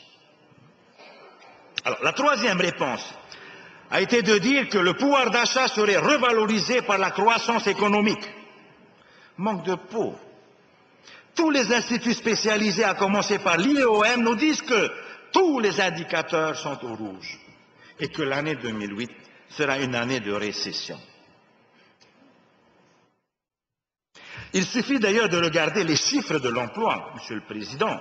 Le dernier bulletin de l'ISPS mesurant l'évolution de l'emploi salarié dans le secteur marchand en juin 2008 fait état d'une croissance de l'emploi, je les cite, une croissance de l'emploi sur un an de 0,8%, qui reste très inférieure à la moyenne observée sur les cinq dernières années.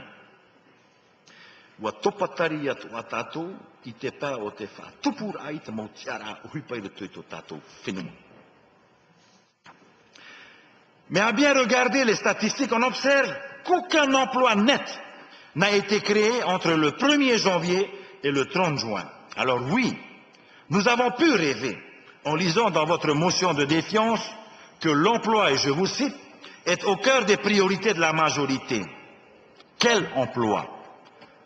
L'emploi dans les cabinets ministériels, sans doute. Pour ce qui est de l'emploi des jeunes, votre impuissance vous a poussé à leur demander de s'expatrier en Nouvelle-Calédonie. Vous demandez aux jeunes polynésiens, en d'autres termes, d'abandonner leur culture, d'abandonner leur patrimoine, d'abandonner leur famille et s'expatrier.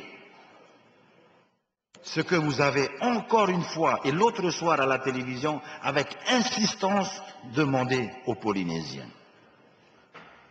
Vous nous avez encore fait rêver avec un projet de contrat. C'est le plus beau celui-là, qui devait être la réponse à tous nos mots. L'État vous a imposé sa version sans aucun moyen nouveau mis à la disposition du développement économique. Vous en êtes tous témoins ici. Aucun moyen nouveau mis à la disposition du développement de notre pays. Vous nous avez fait rêver avec vos 52 milliards. Vous n'avez pas voulu dire la vérité, car le contribuable polynésien paiera 25 milliards sur ces 52 milliards et qu'une bonne partie servira au financement des compétences de l'État. Et pire, vous dites merci à l'État qui vous signe un chèque de 600 millions pour la première année de sa participation au contrat de projet, au lieu de 5 milliards. Maruru, Maruru.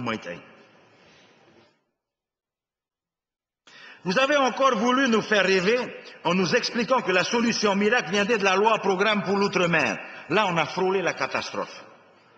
Tout le monde dans cette enceinte, comme tout le monde dans l'outre-mer, a critiqué le projet du gouvernement central qui ne répondait aucunement à nos priorités.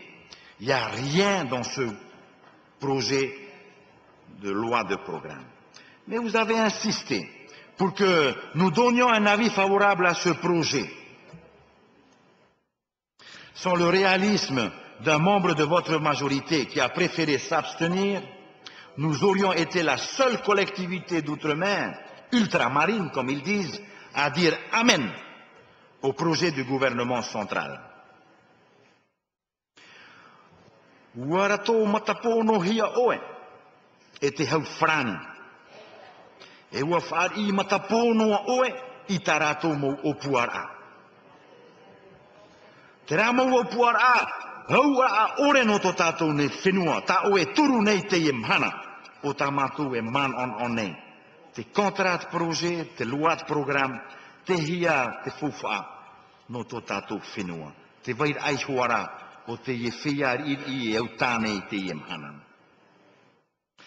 Enfin, vous avez voulu nous faire rêver en adoptant, face aux réformes de l'État, une docilité telle que demain, nous aurons à subir une réduction drastique des forces de souveraineté présentes localement, avec des compensations, j'en suis sûr, qui ne seront pas à la hauteur de nos pertes, à défaut d'avoir à la tête de ce pays un défenseur pugnace de nos intérêts.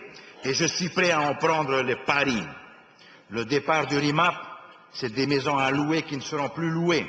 Ce sont des emplois de proximité qui disparaîtront ce sont des activités du petit commerce qui disparaîtront.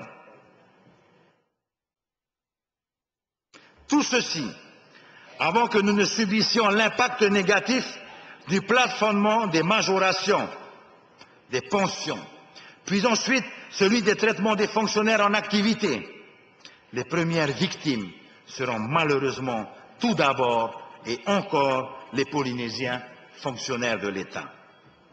Et qu'est-ce que nous apprenons aujourd'hui Que vous nous promettez, si vous êtes élu sénateur, d'agir auprès du gouvernement pour qu'il modifie son projet de loi, de programme? Je me pose des questions. Est-ce de l'inconstance, des promesses démagogiques ou enfin un éclair de lucidité? Mais quoi qu'il en soit, vous êtes aujourd'hui président de la Polynésie. Et il est d'ores et déjà de votre devoir d'agir pour défendre nos intérêts, les intérêts de notre chère Polynésie. Pas besoin d'être sénateur pour commencer à agir. Et j'en doute fort.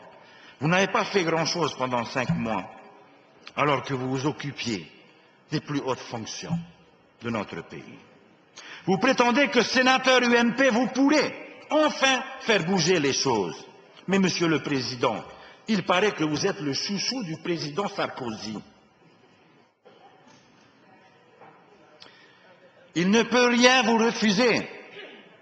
Nous le connaissons bien. Nous le connaissons bien.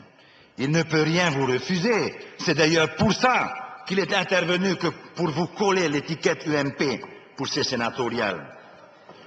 Mais le résultat de ces amours, nous en avons fait la mère constat. L'État vous a refusé tout net de payer sa contribution de 1,9 milliard pour le RSPF pour 2008. Vous nous avez vaguement dit que rien n'était perdu et que vous allez négocier. Si, M. Tongson, c'est perdu, c'est perdu. Ce sont les Polynésiens qui vont devoir payer pour la solidarité nationale, puisque vous avez vous-même donné ordre aux services concernés de préparer un projet d'augmentation de la contribution de solidarité territoriale, ce qui fut confirmé ici même par votre ministre des Finances. C'est le Polynésien qui paiera le prix de la solidarité nationale. Vous et votre gouvernement avez accepté sans mot dire le choix de ne pas défendre l'intérêt des Polynésiens, des plus pauvres d'entre nous. Vous auriez dû vous battre, Monsieur le Président, pour obtenir de l'État qu'il continue de manifester sa solidarité nationale. Comme nous, les membres de l'opposition, nous nous sommes battus ici dans l'hémicycle pour que votre collectif budgétaire intègre les mesures que nous avions alors proposées en faveur des plus démunis de notre collectivité.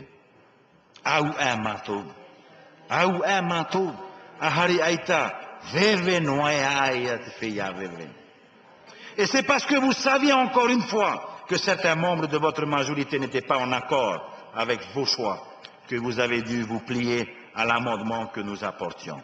La plainte ne fut pas déposée, Monsieur Buissou. Oui, Monsieur le Président, une fois de plus, vous auriez dû vous battre plutôt que de demander timidement à l'État de vous soutenir pour le financement du fonctionnement du futur hôpital. Votre ami Yves Gégaud vous a répondu par un cinglant niet, débrouillez-vous tout seul. Niet, débrouillez-vous tout seul. Face à ce revers infligé avec dédain pendant la visite du chantier, nous n'avons entendu que votre silence assourdissant d'approbation. Le ministre de la Défense nous a annoncé le démantèlement du RIMA et de la base aérienne. Vous êtes resté sans voix, encore une fois. C'est tout juste si vous n'avez pas applaudi en espérant de vagues compensations financières. Il devait venir en Polynésie. Il n'a même pas daigné se déplacer en Polynésie française. Il est allé là où tout va bien, en Nouvelle-Calédonie.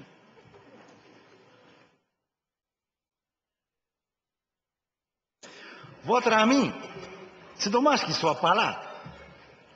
Enfin, l'ami de ce ministre en question s'en est même réjoui à RFO le jour où vous étiez à Paris. Il s'est réjoui espérant que ce dernier lui donnerait les terrains du CEP dans sa commune d'Aroué. Quel égoïste rêveur. Il ne les aura pas gratuitement. Il ne les aura pas gratuitement. Et je vais vous en parler un peu plus tard. Les compensations financières, on sait ce que vous en faites, Monsieur le Président. C'est la dotation de développement économique. C'est dans cette dotation, dans la DGDE, que vous voulez puiser les 3 milliards pour financer les communes à sa demande, à la demande de M. Gégaud, et parce que l'État n'assume pas ses responsabilités. Sénatorial oblige, n'est-ce pas? Mais mieux, ou pire, plus exactement, alors que l'État ne cesse de fermer les robinets, vous allez demander aux Polynésiens de donner de l'argent à l'État. Vous allez demander aux Polynésiens de donner de l'argent à l'État. Cet État, cet État qui veut nous vendre plusieurs terrains qu'il occupe ici chez nous, y compris des terrains que la Polynésie française a donnés gratuitement à l'État. Vous voulez ainsi racheter pour 70 millions un terrain à Uturoa où est construite la maison de l'administrateur, alors que ce terrain, nous en avons fait don à l'État. Bravo. Urara, i te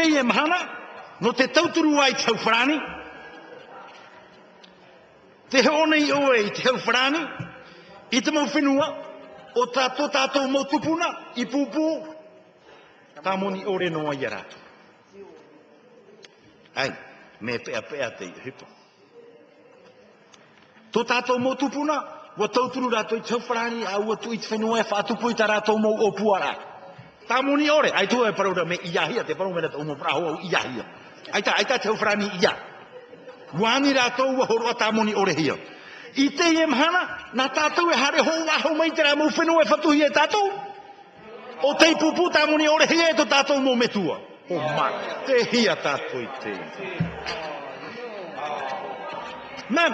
Même, la mairesse d'Uturoa, où est la mairesse d'Uturoa Ah, voilà. Parce que même la mairesse d'Uturoa s'est émue de votre manière de faire. Racheter des terrains qui nous appartiennent. Des terrains?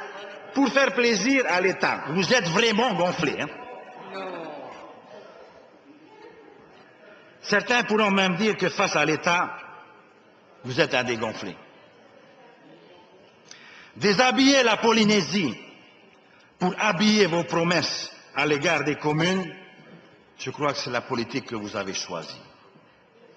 C'est votre politique de campagne électorale. Vous voulez amputer le budget du pays de 3 milliards de francs, mais vous vous êtes bien gardé de le faire avant les élections en refusant de débloquer les crédits dans votre collectif budgétaire, en rejetant l'amendement que l'UDSP a proposé à votre majorité. Vous avez donc refusé notre proposition et celle du groupe UDSP de prévoir ces crédits tout de suite pour donner corps à vos promesses.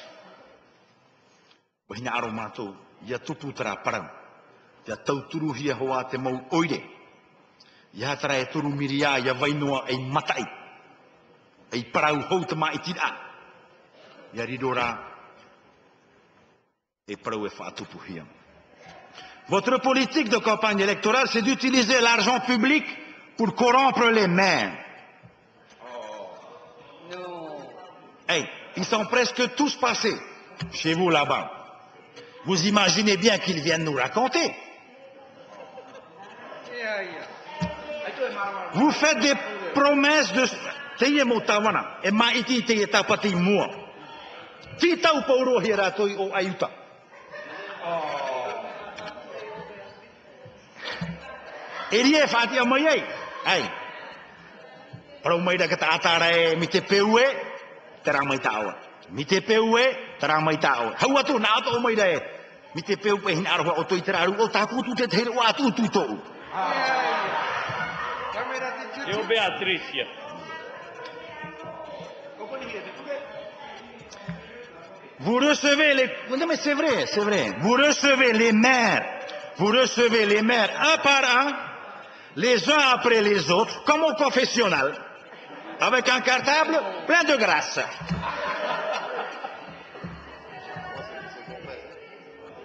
Mais, mais, vous ne manquez pas non plus de distribuer des subventions à vos amis, naturellement. Comme c'est le cas avec la mairie de Rangiroa. Je les arrêtés ici. Ne n'insistez pas parce que j'étais obligé de vous détailler les arrêtés. Hein, le fameux salon pour Anguillois, euh, pour la commune de Ta'a, le bouclage pour 25 millions du réseau électrique après. Pour Uturoa, euh, après. Voilà. Enfin, pourquoi Pourquoi, Monsieur le Président Vous avez peur que vos amis maires ne votent pas pour vous? Et comme toute charité bien ordonnée commence par soi-même, vous n'avez pas oublié de distribuer des subventions à votre propre commune de Bora Bora. J'ai l'impression que c'est pour calmer vos conseillers municipaux qui refuse que vous quittiez votre fauteuil de maire si vous êtes élu un jour sénateur. Et comme ce n'est pas encore suffisant pour corrompre tous les grands électeurs, vous êtes même allé jusqu'à embaucher des maires dans vos cabinets ministériels. Si. Et la nouvelle gouvernance. Encore une fois, vous me direz, c'est pas moi. C'est sûr. Mais c'est ça la nouvelle gouvernance. Même sur le site de RFO, on n'est pas dupe. Avant-hier, on pouvait lire un papier sur les élections sénatoriales en Polynésie française qui se concluait ainsi sur le site de RFO. Mais M. Tongson a l'avantage d'être au gouvernement et de pouvoir faire face à des promesses aux grands électeurs. Bravo. Bonne analyse de RFO. Mais, mais rêvons encore une- un petit peu encore, et j'en terminer avec les rêves. Si, rêvons encore un peu. Demain, eh bien, on rasera gratis. Rêvons encore. Après le contrat de projet, après la loi programme, après le collectif, après les distributions de sucettes et de hochets en tout genre, votre budget répondra à toutes les espérances. J'ai eu l'inspiration en vous entendant tout à l'heure, Monsieur le Président. Nous connaissons bien votre complainte et celle de Jean-Christophe Buissou ici au sein de cette Assemblée. Faites-moi confiance, votez et on verra après. Notre navire est à la dérive, sans barre, sans capitaine, mais vous nous promettez que nous arriverons au port sans encombre. Votre faillite économique est égale à la légèreté de vos improvisations dans vos décisions. Totato Aya est devenu Totato Topatari.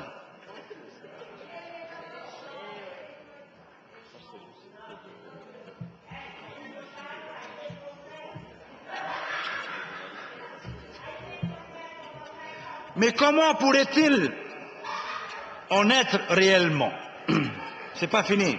Ne riez pas tout de suite. Réservez-vous pour la fin. Ainsi, alors que le vaisseau administratif placé sous votre autorité et celle de vos ministres marche depuis cinq mois à la godille, comment pourrait-il en être ainsi alors que ce vaisseau administratif est tout simplement paralysé par l'instabilité que vous avez engendrée? Et que vos soutiens entretiennent en permanence du fait de leur appétit sans cesse grandissant. Vous avez compris, je voudrais vous parler un petit peu de votre administration. Vous n'avez pas voulu en parler, Monsieur le Président, mais vous savez très bien que c'est l'outil du gouvernement. Dressez l'inventaire des projets de texte dont le gouvernement nous a saisis depuis qu'il est en fonction. Vous serez édifiés sur la production réelle de vos ministères. C'est vrai d'ailleurs que tant que le Haut Conseil sera paralysé par l'absence de désignation de son nouveau président, il lui sera difficile de statuer sur les dossiers dont il peut être saisi. Difficile de travailler dans ces conditions. En fait, tous les textes que nous avons eu dernièrement à étudier au sein de notre Assemblée avaient été préparés sous les gouvernements Temaru et Floss vous ont précédés. Je vous demande de les applaudir.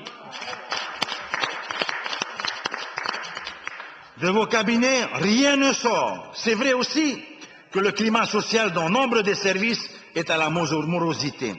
Beaucoup de chefs de service baissent les bras et veulent quitter leurs fonctions. Ils se sentent inutiles, car désavoués par leurs ministres, qui font souvent preuve ou d'arrogance, ou d'autoritarisme, ou tout simplement d'incompétence. Dans cette ambiance de défiance, beaucoup d'agents publics, croyez-moi, beaucoup d'agents publics sont au bord du découragement. Beaucoup de chefs de service ou de responsables administratifs que je rencontre me disent leur frustration ou même leur ras-le-bol de ne pouvoir réellement s'exprimer et s'investir. S'investir dans la promotion de l'intérêt général et dont ils ont la charge. Monsieur Edouard Fritz, il vous reste cinq Ils minutes. sont confrontés à des cabinets. Ils sont confrontés Il a- Ils sont il a largement confrontés à des le cabinets incapables de les guider Là, de dans l'action publique. Parce que celle-ci, l'action publique, parce que celle-ci, écoutez-moi bien, c'est très intéressant, parce que l'action publique est visiblement étrangère aux préoccupations immédiates de certains de vos ministres.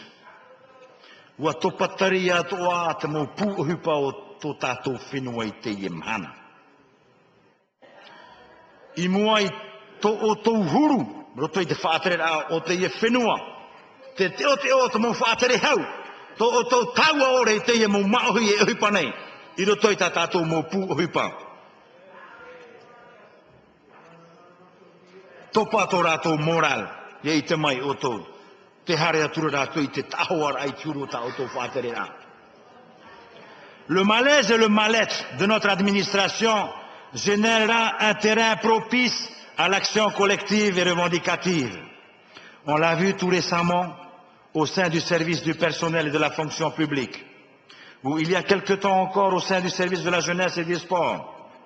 Dans le même temps, si vous vous plaisez à multiplier les audits des organismes périphériques du pays, comme vous l'avez annoncé ici, Monsieur le Président, alors même que nous disposons déjà de multiples rapports et préconisations de la Cour territoriale des comptes ou celui du cabinet de Loite.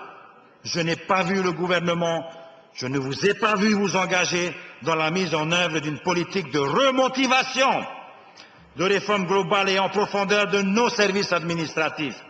Beaucoup de chalala, mais rien de concret. Et pourtant, tant de choses restent à faire pour parvenir à réaliser un service public de qualité. Ils n'aspirent qu'à être utiles à, leur pays, ces agents. Ils sont conscients du fait que la situation de notre pays se dégrade. Nos agents publics sont eux aussi des citoyens et des parents qui s'inquiètent à la fois de l'avenir de leur pays et de leurs enfants. E e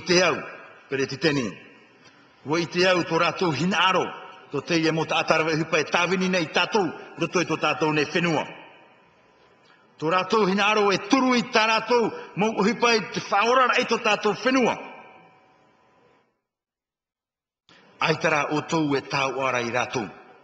e te mō maohi, tātou, i te mhana, i te mō te hau. Et il y a véritablement urgence quand on constate la dégradation de notre industrie perlière Là, et la faiblesse de la réponse des pouvoirs de publics à l'ampleur de la crise. Il y a urgence, Monsieur le Président, pour la santé humaine. Un peu de respect pour le fonctionnement Il y a urgence pour la santé humaine. On n'est pas venu écouter Face aux risques engendrés par l'utilisation abusive des pesticides sur les produits agricoles, il y a urgence face à la situation calamiteuse de notre industrie touristique, Monsieur le Président, ministre du Tourisme, et celle de la pêche. Les clignotants rouges qui s'allument dans tous nos secteurs productifs ne trouvent que l'impuissance des pouvoirs publics. Nous subissons aujourd'hui l'incapacité, l'incapacité de nos gouvernants à établir un constat objectif, à poser les vrais problèmes et à détecter les réels dysfonctionnements de chacune de nos filières économiques. En plus des faillites morales et économiques citées plus haut, vous présentez également ici, Monsieur le Président, vous présentez également une faillite intellectuelle. Et que dire des nominations Que dire des nominations que vous avez cautionnées ou que vous envisagiez de cautionner de certaines personnes à la compétence plus que douteuse à la tête d'organismes publics essentiels au devenir de ce pays? Vos nominations, ou plutôt vos répartitions de sucettes, ne sont que des mauvais exemples pour les cadres responsables de nos administrations publiques, ainsi que pour tous nos jeunes en proie au chômage. Alors, alors, je vais en finir. Alors oui, Monsieur le Président, votre bilan de sept mois de direction des affaires du pays est mauvais. Il est même très mauvais. Entre faillite absolue de no- votre gouvernance paralysie de notre outil administratif et situation économique et sociale calamiteuse, notre pays navigue aujourd'hui entre le désespoir et le découragement. Sous votre direction, je crains fort que notre pays demeurera encore longtemps sous l'emprise du désespoir. Je crains même de voir les choses continuer à empirer si elles demeurent encore longtemps sous votre direction. Je vous remercie, mes chers collègues. Maroro. Monsieur Jean-Christophe Bouissou, vous avez la parole.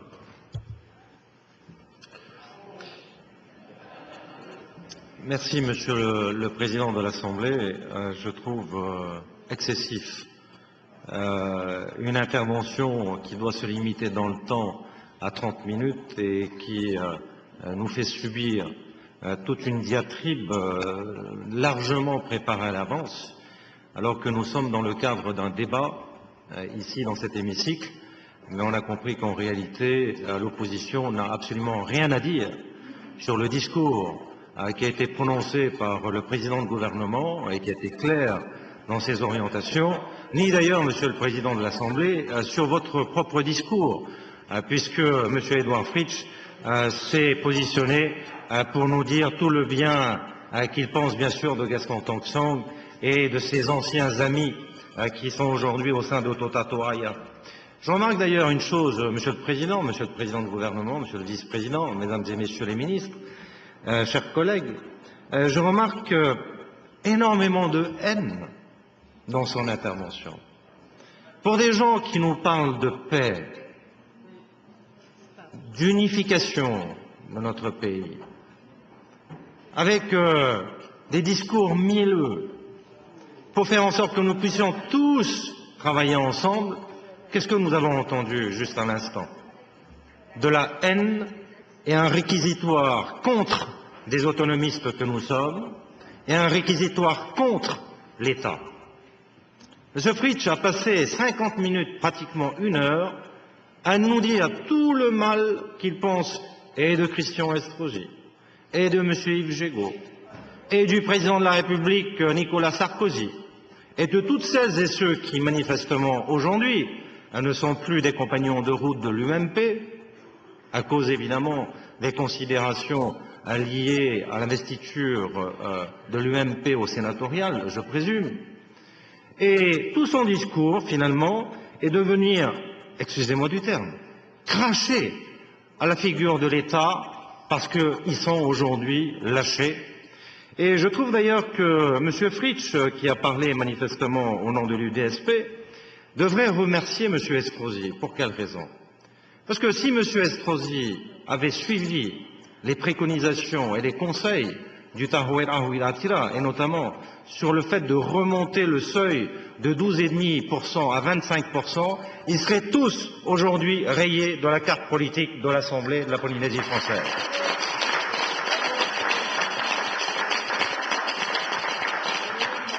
Alors, plutôt que de venir à nous dire Pourquoi autant de mal de la part, Monsieur Fritz, je ne vous ai pas dérangé tout à l'heure, vous me laissez, je- Excusez-moi, trois minutes d'intervention, Euh, vous êtes déjà un peu électrifié et vous souhaitez encore tout de suite reprendre la parole. Je crois qu'on peut intervenir qu'une seule fois et puis laisser les autres euh, s'exprimer. Parce que vous. Alors, plutôt que de venir ici euh, taper sur l'État, taper sur euh, le gouvernement, il aurait été plus utile pour nous de discuter effectivement sur le fond de ce que propose le gouvernement euh, dans le cadre du budget euh, à venir, en tout cas sur le plan de la philosophie de ce qui va se dessiner et qui sera exposé lors des discussions budgétaires dans moins de 15 jours maintenant. Monsieur le Président de l'Assemblée, nous vous avons écouté avec attention. Et je dois avouer que moi-même, et je pense que c'est partagé euh, par euh, euh, les représentants euh, dans leur ensemble, nous avons été euh, étonnés de la qualité de votre intervention. Et je dois avouer que sur à la fois tous les sujets que vous avez souhaité retenir dans le cadre de votre discours, c'est un discours qui était clair. Nous ne partageons pas, évidemment, l'ensemble des idées, vous comprenez bien. Lorsque vous parlez du fait que la parfaite autonomie, c'est l'indépendance. Euh, Nous avons compris derrière que vous êtes sur votre credo idéologique. Nous respectons ce credo idéo- idéologique, mais vous comprenez également que c'est ce qui nous empêche quelque part euh, de pouvoir nous associer à vous.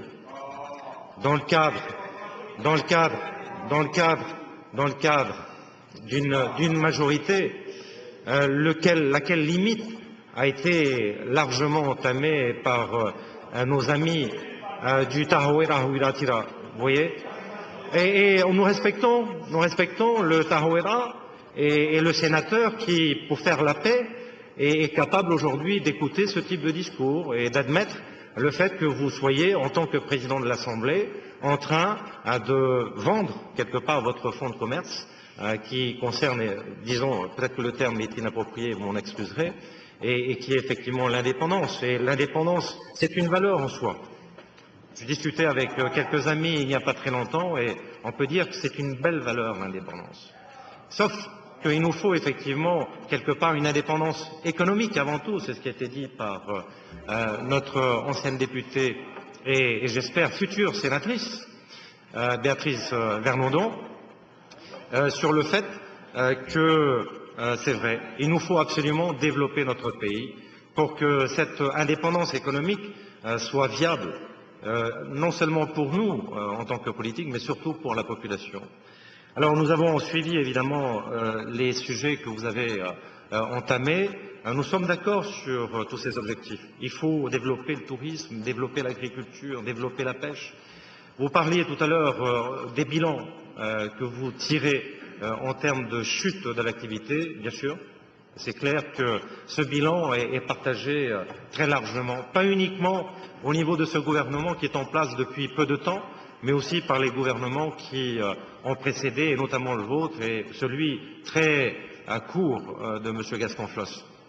Nous avons remarqué une chose tout à l'heure, Monsieur le Président, c'est que vous n'avez pas épargné euh, votre nouveau partenaire euh, lorsque vous, évo- vous évoquez euh, la date du 23 mai euh, 2004, Euh, lorsque vous dites que l'instabilité a été générée à partir de cette date-là. C'est vrai quelque part, vous avez raison. Vous avez raison de le souligner et de souligner le fait que assez rapidement, à peine six mois plus tard, vous étiez renversé par euh, cette nouvelle majorité qui s'était constituée et nous avons compris à ce moment-là que c'était une critique que vous lanciez euh, contre votre partenaire actuel. Euh, je suis étonné du fait que vous ayez introduit dans votre discours de telles critiques, mais c'est vrai qu'aujourd'hui, il est un peu prisonnier comme un poisson dans la nasse. Donc vous pouvez dire ce que vous voulez, n'est-ce pas? Bien. Monsieur le Président de la Polynésie française, euh, nous avons suivi avec euh, attention votre discours. Euh, je ne vais pas paraphraser et reprendre l'ensemble des thèmes que vous avez abordés, mais je souhaiterais dire ceci. Il nous semble que dans le cadre du budget 2009 doit se décrire également un grand projet. Parce que tous les thèmes sont des thèmes intéressants, l'économie, le social, mais il faut qu'il y ait aussi un moteur. Et nous avons développé dans notre programme euh, ce qui peut constituer véritablement un moteur. Et j'étais heureux tout à l'heure, nous étions contents au sein du groupe Rotatoaya, partagé par nos amis de euh, Temanano Temamotu, d'entendre que ce moteur est véritablement le tourisme. Et vous avez donné un objectif certainement à la fois clair, mais aussi euh, un objectif dans le temps faisable, réaliste, qui est de dire doublons euh, les euh, revenus euh, du tourisme sur la prochaine décennie. C'est vrai que certains d'entre nous souhaiteraient aller beaucoup plus vite. Euh, 45 milliards de francs de revenus touristiques par an, doublés sur la dizaine d'années devant nous, c'est 90 milliards de francs. Nous sommes loin, évidemment, des quelques 150 milliards de francs des transferts publics de l'État dont nous disposons aujourd'hui. Mais je comprends aussi derrière que le moteur du tourisme tire des autres activités vers le haut. C'est le cas de l'agriculture, c'est le cas de la pêche, c'est le cas de la perliculture et des autres domaines d'activité. Donc euh, nous vous remercions euh, d'avoir euh, très clairement affirmé votre souhait de faire du tourisme le moteur économique de notre pays. Deuxième point que je souhaiterais également souligner, Monsieur le Président, c'est la situation difficile de nos entreprises. Il est bien clair qu'avec l'inflation et ainsi qu'avec l'augmentation du SMIC, beaucoup d'entreprises polynésiennes qui ont des salariés euh, au SMIC ou qui ont des salaires tout simplement qui se rapprochent du SMIC ont aujourd'hui des difficultés. Je connais l'engagement euh, de notre ministre de l'Emploi et euh, de l'économie de faire en sorte que nous puissions répondre euh, à leurs attentes. Mais il convient réellement que nous soyons sensibles en ce qui nous concerne sur le fait que ces entreprises sont réellement en difficulté. Et je souhaiterais, dans mon intervention, ne pas les oublier pour faire en sorte que nous puissions très rapidement également apporter des solutions à leurs problèmes. enfin, dernière chose, Monsieur le Président de la République française, c'est la nécessité d'un schéma d'aménagement du territoire. Il est bien clair que notre pays a été dirigé pendant 30 ans sans qu'il y ait une carte routière du développement. Et oui, monsieur le sénateur, je ne suis pas là pour porter une critique. Quand je dis durant 30 ans, je ne veux pas forcément vous désigner, vous, comme étant le principal responsable. Nous avons tous, c'est vrai, été, y compris avec vous, bien sûr. Mais, en même temps, vous êtes d'accord pour dire que le schéma d'aménagement n'a jamais été réalisé. Voilà. Et moi aussi, j'étais ministre de l'aménagement à un moment donné, et, j'avais la, responsabilité de réaliser et de concevoir ce schéma d'aménagement. Mais vous, savez, on est toujours précipité, on est toujours précipité dans, on est toujours précipité dans ce qui est urgent. Et ce qu'il nous faut, c'est prendre un peu de temps, de nous asseoir et de réfléchir sur un schéma d'aménagement du territoire. Qu'est-ce qui fera que le territoire, notre pays, va se développer demain? Qu'est-ce que nous allons faire au Tuamotu de l'Ouest?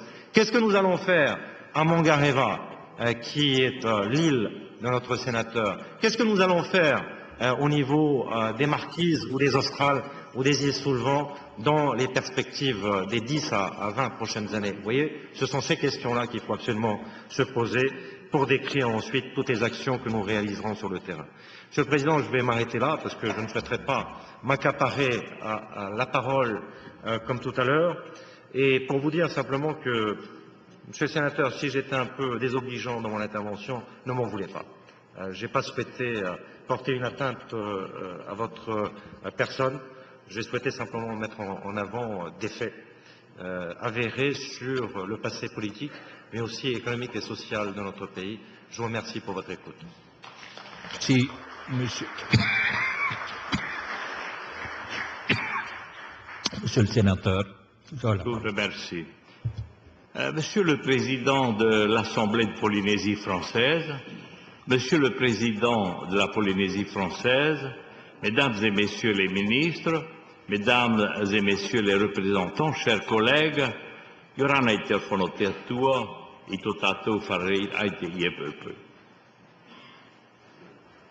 Monsieur le Président Tongson, vous n'avez pas la majorité. La preuve, hier, vous n'étiez que 27. Votre majorité est introuvable. Il suffit d'ailleurs de se référer aux propos euh, de Jean-Christophe Buissou, président de votre groupe Totato Aya, à sa descente d'avion mercredi soir.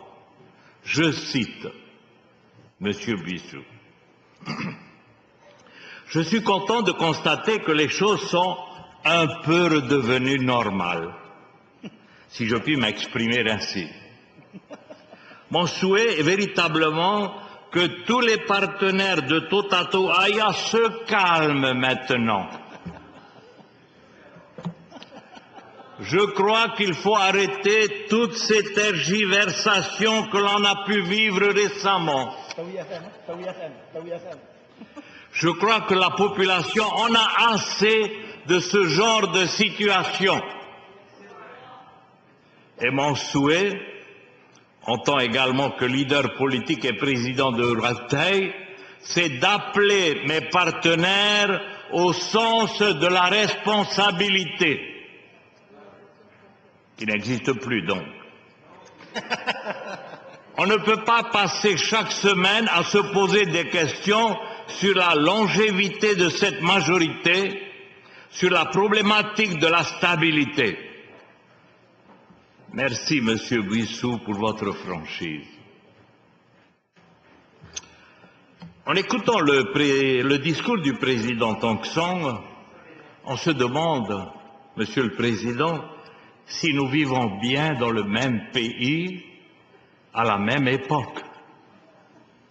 Pas un mot, vous n'avez pas prononcé un seul mot sur l'augmentation astronomique du coût de la vie en 2008 sous votre gouvernement et non en 2007 comme vous venez de le déclarer. Les prix des denrées alimentaires ont augmenté de 7% en un an, du jamais vu. Et le communiqué du Conseil des ministres confirme que la hausse continue. Le prix de l'essence est à 90 dollars le baril sur le marché international. Et nous payons notre essence au cours le plus élevé, c'est-à-dire à 200 dollars le baril. Où passe la différence?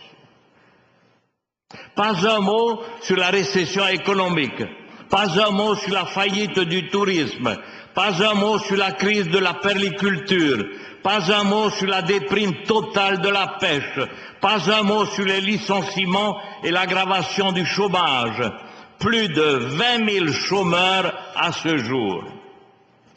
Pas un mot sur les déficits des sociétés publiques, pas un mot sur le déséquilibre de notre système de santé et de solidarité, pas un mot sur le désengagement de l'État et les menaces qui se confirment sur la défiscalisation et le régime des retraites. C'est vrai, il n'est jamais facile de préparer un budget pour une collectivité en plein marasme économique. Et la première chose à faire, c'est d'admettre la réalité, de l'expliquer à tous les citoyens afin qu'ils comprennent et qu'ils acceptent les mesures qui s'imposeront pour redresser la situation. Cela exige de l'honnêteté intellectuelle et du courage politique. Malheureusement, le président Tong Song n'a ni l'honnêteté intellectuelle et encore moins le courage politique. Il préfère nier en bloc la réalité et nous présenter des orientations budgétaires pour une Polynésie en pleine croissance, une Polynésie dynamique, en plein progrès économique et social. Monsieur le Président, cette Polynésie a existé. Nous l'avons connue et nous l'avons aimée. Je ne suis pas le seul à m'en souvenir. Mais elle n'existe plus aujourd'hui. C'est du passé. Nous vivons dans un pays sinistré, rongé par l'instabilité politique et la récession économique, menacé dans tous ses acquis. Notre pays est en faillite. D'ailleurs, le président Tong Song n'a plus confiance en notre pays. Ici même, au moment de l'étude du collectif, il a déclaré menacé par deux fois de démissionner. Il demande même à notre jeunesse de s'expatrier, d'aller vivre en Nouvelle-Calédonie.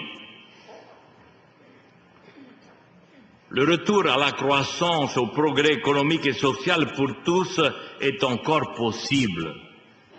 Mais il faut d'abord regarder la vérité en face et prendre des mesures courageuses adaptées à la situation réelle. Ce n'est malheureusement pas la voie qu'a choisie M. Thompson.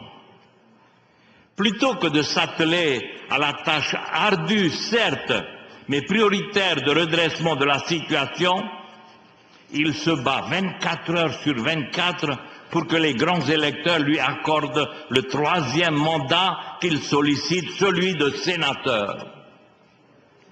La soif de pouvoir de M. Thompson n'a pas de limite. Maire de Bora président du gouvernement et aujourd'hui il brigue la fonction de sénateur.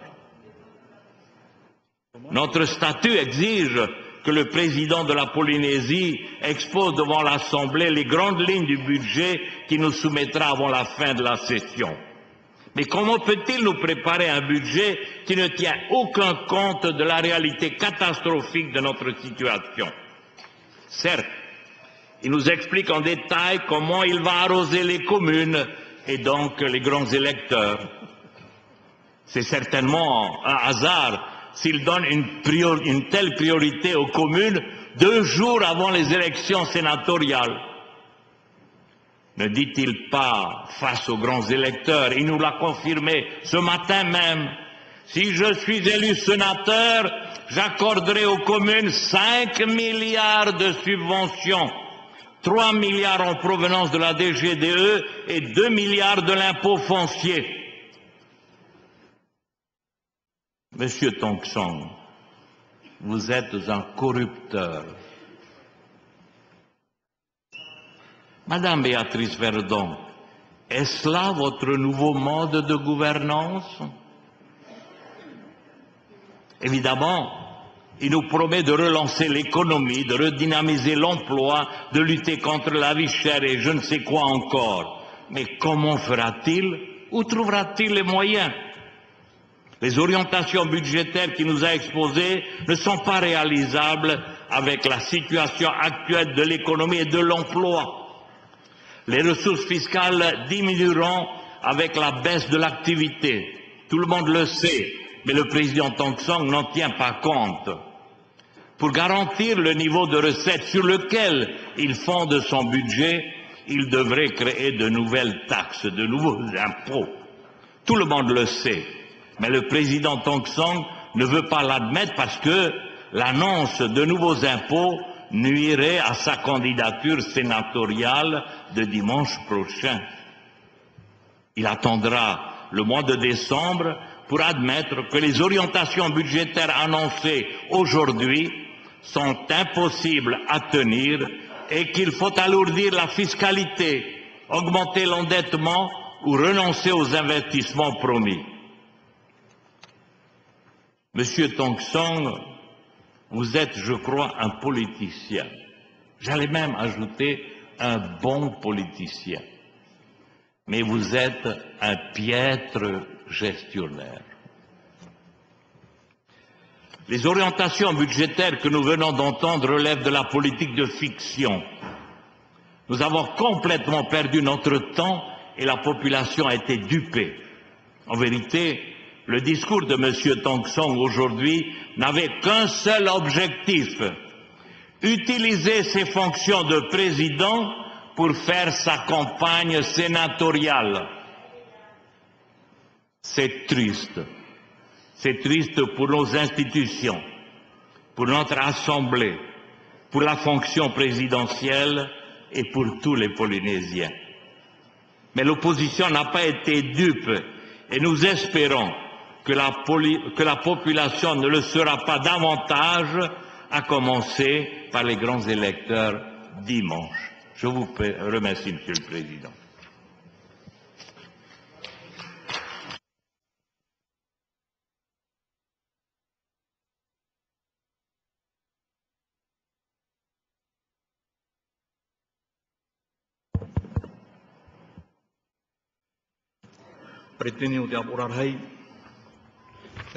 Tapa o te roho, te roho iarhei.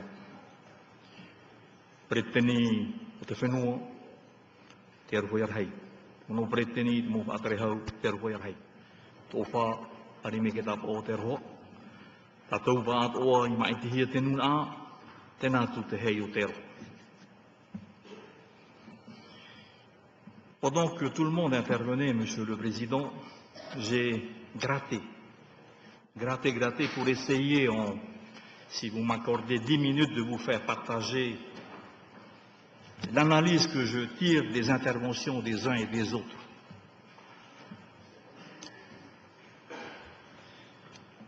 le premier constat que je fais, c'est que aujourd'hui encore, il y a deux qualités de responsables politiques, deux catégories de responsables politiques. Il y a ceux que je qualifierais de conservateurs et nostalgiques et réellement amnésiques, et ceux qui souhaitent la réforme, les réformistes, et qui veulent que le cours biologique des choses soit accéléré. Je peux vous assurer, Monsieur le Président, que dans les débats internes que nous avons en commission intérieure, je n'ai que 13 ans d'ancienneté, mais jamais je n'ai relevé autant de qualité et de respect de l'autre dans nos commissions intérieures, que ce soit au niveau de la commission du contrôle budgétaire, la commission des finances ou ma commission d'enquête. Et je tenais ici à remercier tous les élus qui participent pleinement à ces débats. je puis vous assurer que lorsque on vous transmettra nos conclusions au niveau de la commission d'enquête sur les marges et les prix, j'espère qu'on aura votre soutien le plus total J'en viens maintenant à votre intervention et à l'intervention du président du pays. Pour moi, le Coran n'est pas une question d'apport pour faire ou défaire une majorité. Il s'agit tout simplement de respecter nos institutions et de faire vivre une démocratie à la recherche de son identité. Démocratie que je souhaite, comme vous, respectueuse de ses divergences intellectuelles, institutionnelle, politique, économique, sociale et culturelle. Il ne s'agit pas aussi de ressasser sans cesse le passé en rejetant sur l'autre ses propres turpitudes ou ses propres insuffisances et ses manquements à la parole donnée. C'est ensemble qu'on doit tous reconnaître ses erreurs et accepter d'évoluer avec son époque en tirant les leçons du passé du présent pour mieux bâtir le futur et se projeter dans ce futur. Hier, je parlais du cycle biologique des choses. Aujourd'hui, j'affirme haut et fort que ce cycle, on doit l'accélérer. Et on peut déjà l'accélérer dès ce dimanche, si tous les grands électeurs auront le courage d'accélérer ce cycle biologique des choses. Le drame de notre pays, chers collègues, réside, c'est ma vision des choses, elle peut apparaître simpliste, mais ce drame réside essentiellement du fait du décalage existant entre les acteurs économiques, la puissance de feu incommensurable et peut-être irréversible des lobbies locaux qui contrôlent pratiquement toute l'activité économique et financière et commerciale, et de la faiblesse, dans tous les sens du terme, de la classe politique locale, de la direction politique locale qui a longtemps dirigé ce pays. Et dont certains, je dis bien certains, n'acceptent toujours pas aujourd'hui leur mise à l'écart dans la gestion des affaires du pays. Je parlais en commission devant le représentant d'un cabinet de consultants d'héritage que nous avons tous les uns et les autres apporté. Et merci pour la qualité de votre intervention et d'avoir rappelé ce que vous avez vécu, ce que nous avions vécu. Il nous faut donc ensemble reconnaître notre part de responsabilité. C'est ensemble je m'adresse à tout le monde. Est-ce que vous connaissez l'effet papillon? Bien sûr, certains connaissent l'effet papillon. C'est cet effet produit ailleurs et qui peut avoir des effets très forts, dévastateurs sur l'économie d'un pays qui paraît pourtant, qui est pourtant éloigné géographiquement de cet effet. Ben, chez nous, c'est le cas. C'est le cas. Je ne vais pas vous lire mais je vous demande, chers collègues, de lire cet article magnifique écrit par M. Alain Dussard dans les nouvelles. Osez le changement. Osez le changement. Winston Churchill aimait à dire le changement, soit on le prend par la main, soit il vous prend par le cou. Confucius disait le poisson pourri par la tête. C'est au leader d'apporter la vision fédératrice, l'élan, de soutenir la dynamique du changement. Il y a tout un paragraphe sur l'identité. Comme Monsieur le Président, je vous ai entendu. Dans tout ce que vous nous proposez pour 2009, moi je réitère ma demande, ma réflexion, qu'on la prenne en compte, sur la place qu'on doit accorder à la culture dans l'éducation et dans l'environnement. Quand on nous dit que le tourisme peut être la clé, la panacée, la question qu'il faut nous poser, pourquoi le tourisme n'a jamais marché, à qui a profité le tourisme? C'est peut-être à partir de là, sur un nouveau postulat, une, nouvelle manière de poser les problèmes, que l'on comprendra pourquoi le Polynésien qui ne se sent pas acteur de son développement touristique refuse d'y participer comme nous on le souhaiterait. Idem dans tous les domaines. C'est au niveau de la recherche que l'on peut créer de l'innovation dans ce pays, que l'on peut développer l'économie de ce pays dans tous les domaines.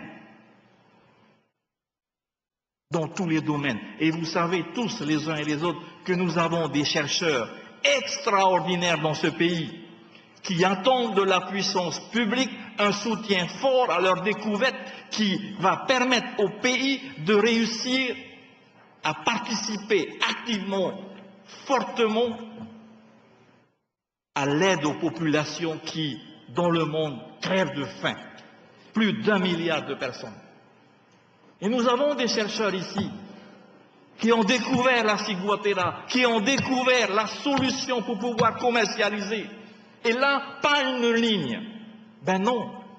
Si on veut changer la, page, si l'on veut avancer, il nous faut investir énormément dans ce secteur d'activité, parce que l'avenir économique, moi j'y crois, il est plus là.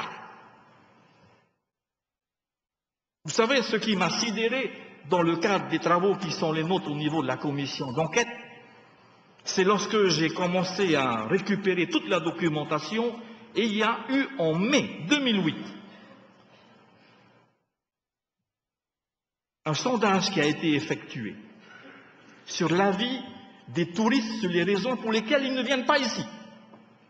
Connaissez-vous Ils ne reviennent plus ou ils ne s'intéressent plus à la Polynésie. Quelle est la première réponse? La vie chère. Le coût de la vie. Or, les responsables politiques ne tiennent pas ce langage. Les responsables politiques disent qu'il faut privilégier le haut de gamme. Ben non. Parce qu'il y a des pays à côté de nous, pas très loin de chez nous, qui jouent sur ce créneau et dont le coût de la vie est trois fois moins cher que chez nous. Comment pouvons-nous un seul instant donc croire que les touristes du grand bassin pacifique seront intéressés par la destination Polynésie s'il n'y a pas un effort énorme à faire là? C'est notre devoir à nous. Mais je voulais également, Monsieur le Président, parce que j'ai été agréablement surpris par euh, votre discours, tout en regrettant le côté passéiste de ce discours. De l'Assemblée, je m'adresse à mon président, je le regarde, il est en face de moi. Lors des cérémonies sur le 20e anniversaire des accords de Matignon, et du dixième anniversaire des accords de Nouméa en mai dernier en Kanaki, notre ami à tous les deux, Michel Rocard, cheville ouvrière de ces accords, nous mettait en garde sur bien des points que je souhaite nous rappeler à tous. S'adressons à la future élite kanak, calédonienne, polynésienne et aux actuels dirigeants des trois provinces du Congrès, du gouvernement, de tous bords politiques, il leur disait ceci, et je répète tout ce qu'il a dit. Il vous reste à faire énormément dans l'art de cohabiter. À chaque conflit social, ethnique, vous êtes à deux pas du recours à la violence. Et c'est Rocard qui parle. J'ai appris au cours de ma vie que les tentations de haine, on a entendu des propos haineux dans cette salle, et de violence arrivent toujours très vite. Gardez-vous les uns et les autres des comportements dangereux porteurs de risques. Sur la nouvelle indépendance à construire, c'est la nouvelle indépendance à construire. Là, nos avis à tous les deux n'ont pas changé, Monsieur le Président. Il affirme néanmoins ceci. La conception ancienne, héritée de Clovis, reprise par l'ONU, basée sur la monnaie, sur l'armée, la justice est aujourd'hui largement dépassée. Le monde a changé. Tout s'échange, tout s'interchange. Aucun pays ne peut traiter seul une crise bancaire ou boursière, aujourd'hui forcément internationale. C'est ce qu'on vient de vivre la semaine dernière et en début de semaine. Il a rappelé, en France, le franc a été dévalué 19 fois entre 1940 entre 1947 et 1987. À la fin, cette monnaie n'était plus tenable. Ils ont débouché sur l'euro. Et toutes les puissances européennes ont abandonné leur monnaie pour se réfugier sur l'euro. Aucun pays ne peut affronter seul le terrorisme. C'est la même chose pour les armées. On ne fait plus rien seul. À méditer également. Inversement, Combien de guerres et de massacres ont été menés au nom des indépendances nationales? Mais ce constat est parfaitement compatible avec l'idée que les petits peuples, si petits soient-ils, puissent édicter souverainement les lois et les règles qui régiront leur vie, leur destin et exprimeront leur identité sur la scène internationale. Ben, mesdames et messieurs, je fais mien les propos de Michel Foucault. Le challenge, il est là, et nulle part ailleurs. Il est là et nulle part ailleurs. Nous ne sommes que de passage sur terre. Mais il nous faut ensemble tirer toutes les leçons. Alors, je nous invite à apprendre à cohabiter ensemble, à construire ensemble cette évolution nécessaire et utile voyez, Monsieur le Président, moi je reste convaincu, je vous l'ai dit encore, lorsque nous nous sommes rencontrés hier, que dans la classe politique actuelle, il y a suffisamment de responsables qui sont capables de cohabiter ensemble, qui sont capables de définir les priorités économiques, financières, sociales, culturelles, éducatives, sanitaires, que nous allons aborder dans le cadre du budget. Moi, c'est mon vœu le plus cher, que nous puissions ensemble apprendre à cohabiter. Merci, Terre Royale.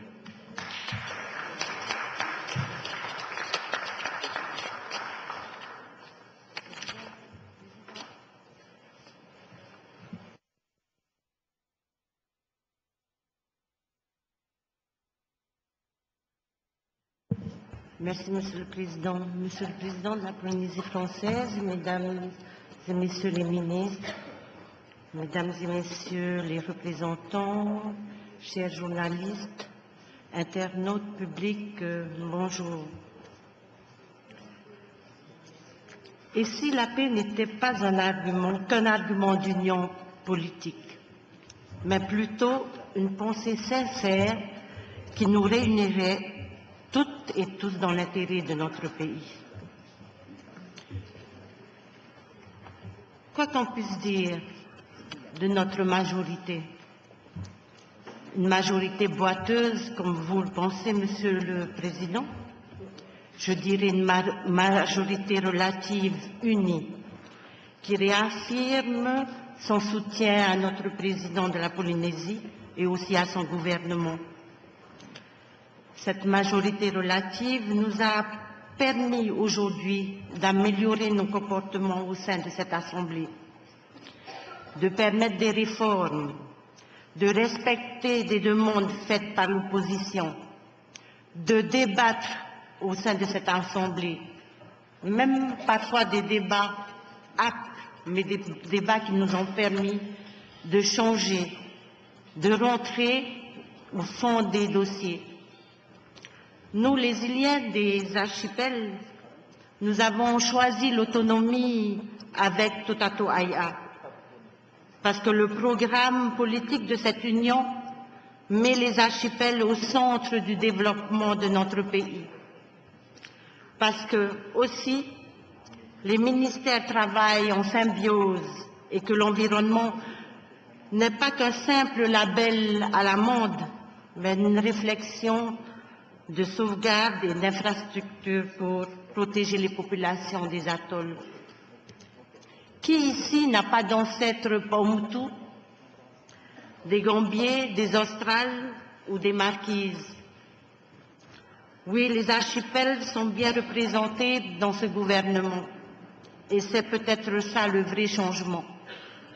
Considérez enfin tous les Polynésiens, qu'ils soient de Tahiti ou d'ailleurs, qu'ils ressemblent à des Popas, à des Maoris ou des Chinois, considérez que tous les Polynésiens sont frères et sœurs et que la paix, la vraie, celle que vous martelez tout le temps, Monsieur le Président, ne peut pas naître de la rancune, mais de la volonté sincère, honnête, et de donner le meilleur et d'exiger le meilleur de nous-mêmes pour l'amour de notre pays. Malgré tout ce qui nous a divisés, ce qui nous divise et ce qui nous divisera, nous devons rester en contact avec notre population. Nous devons respecter notre électorat en travaillant et en défendant ce que nous considérons être le plus adéquat, le plus adapté à notre culture et à nos gens. Je ne reviendrai pas sur les causes de cette instabilité ou sur les résultats en baisse de notre économie. Tout ceci a été dit. Ce que nous voulons, c'est protéger notre pays des conflits ethniques et idéologiques. Et au nom de, la paix, nous voulons écrire une nouvelle page de notre histoire, Président. Et après toutes les interventions que j'ai entendues, et la dernière, celle de Hiro, j'ai pensé à d'autres interventions, notamment celle de notre ministre Armel Merceron, au sein de cette Assemblée, qui faisait la même demande que celle de Hiro, que nous puissions tous travailler ensemble.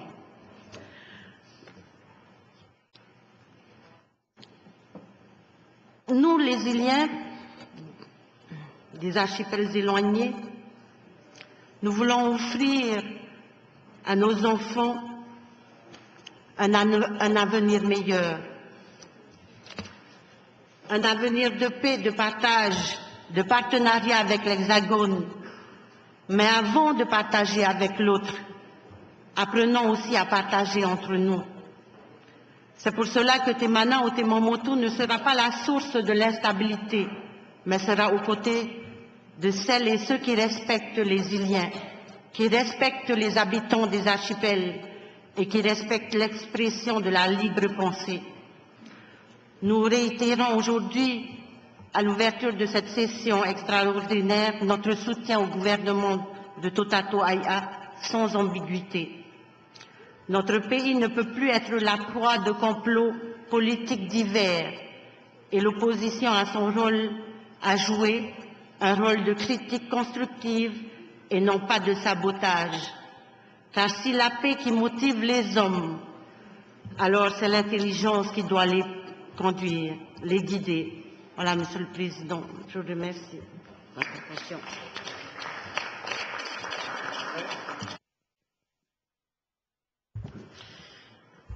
Merci beaucoup, Monsieur le Président.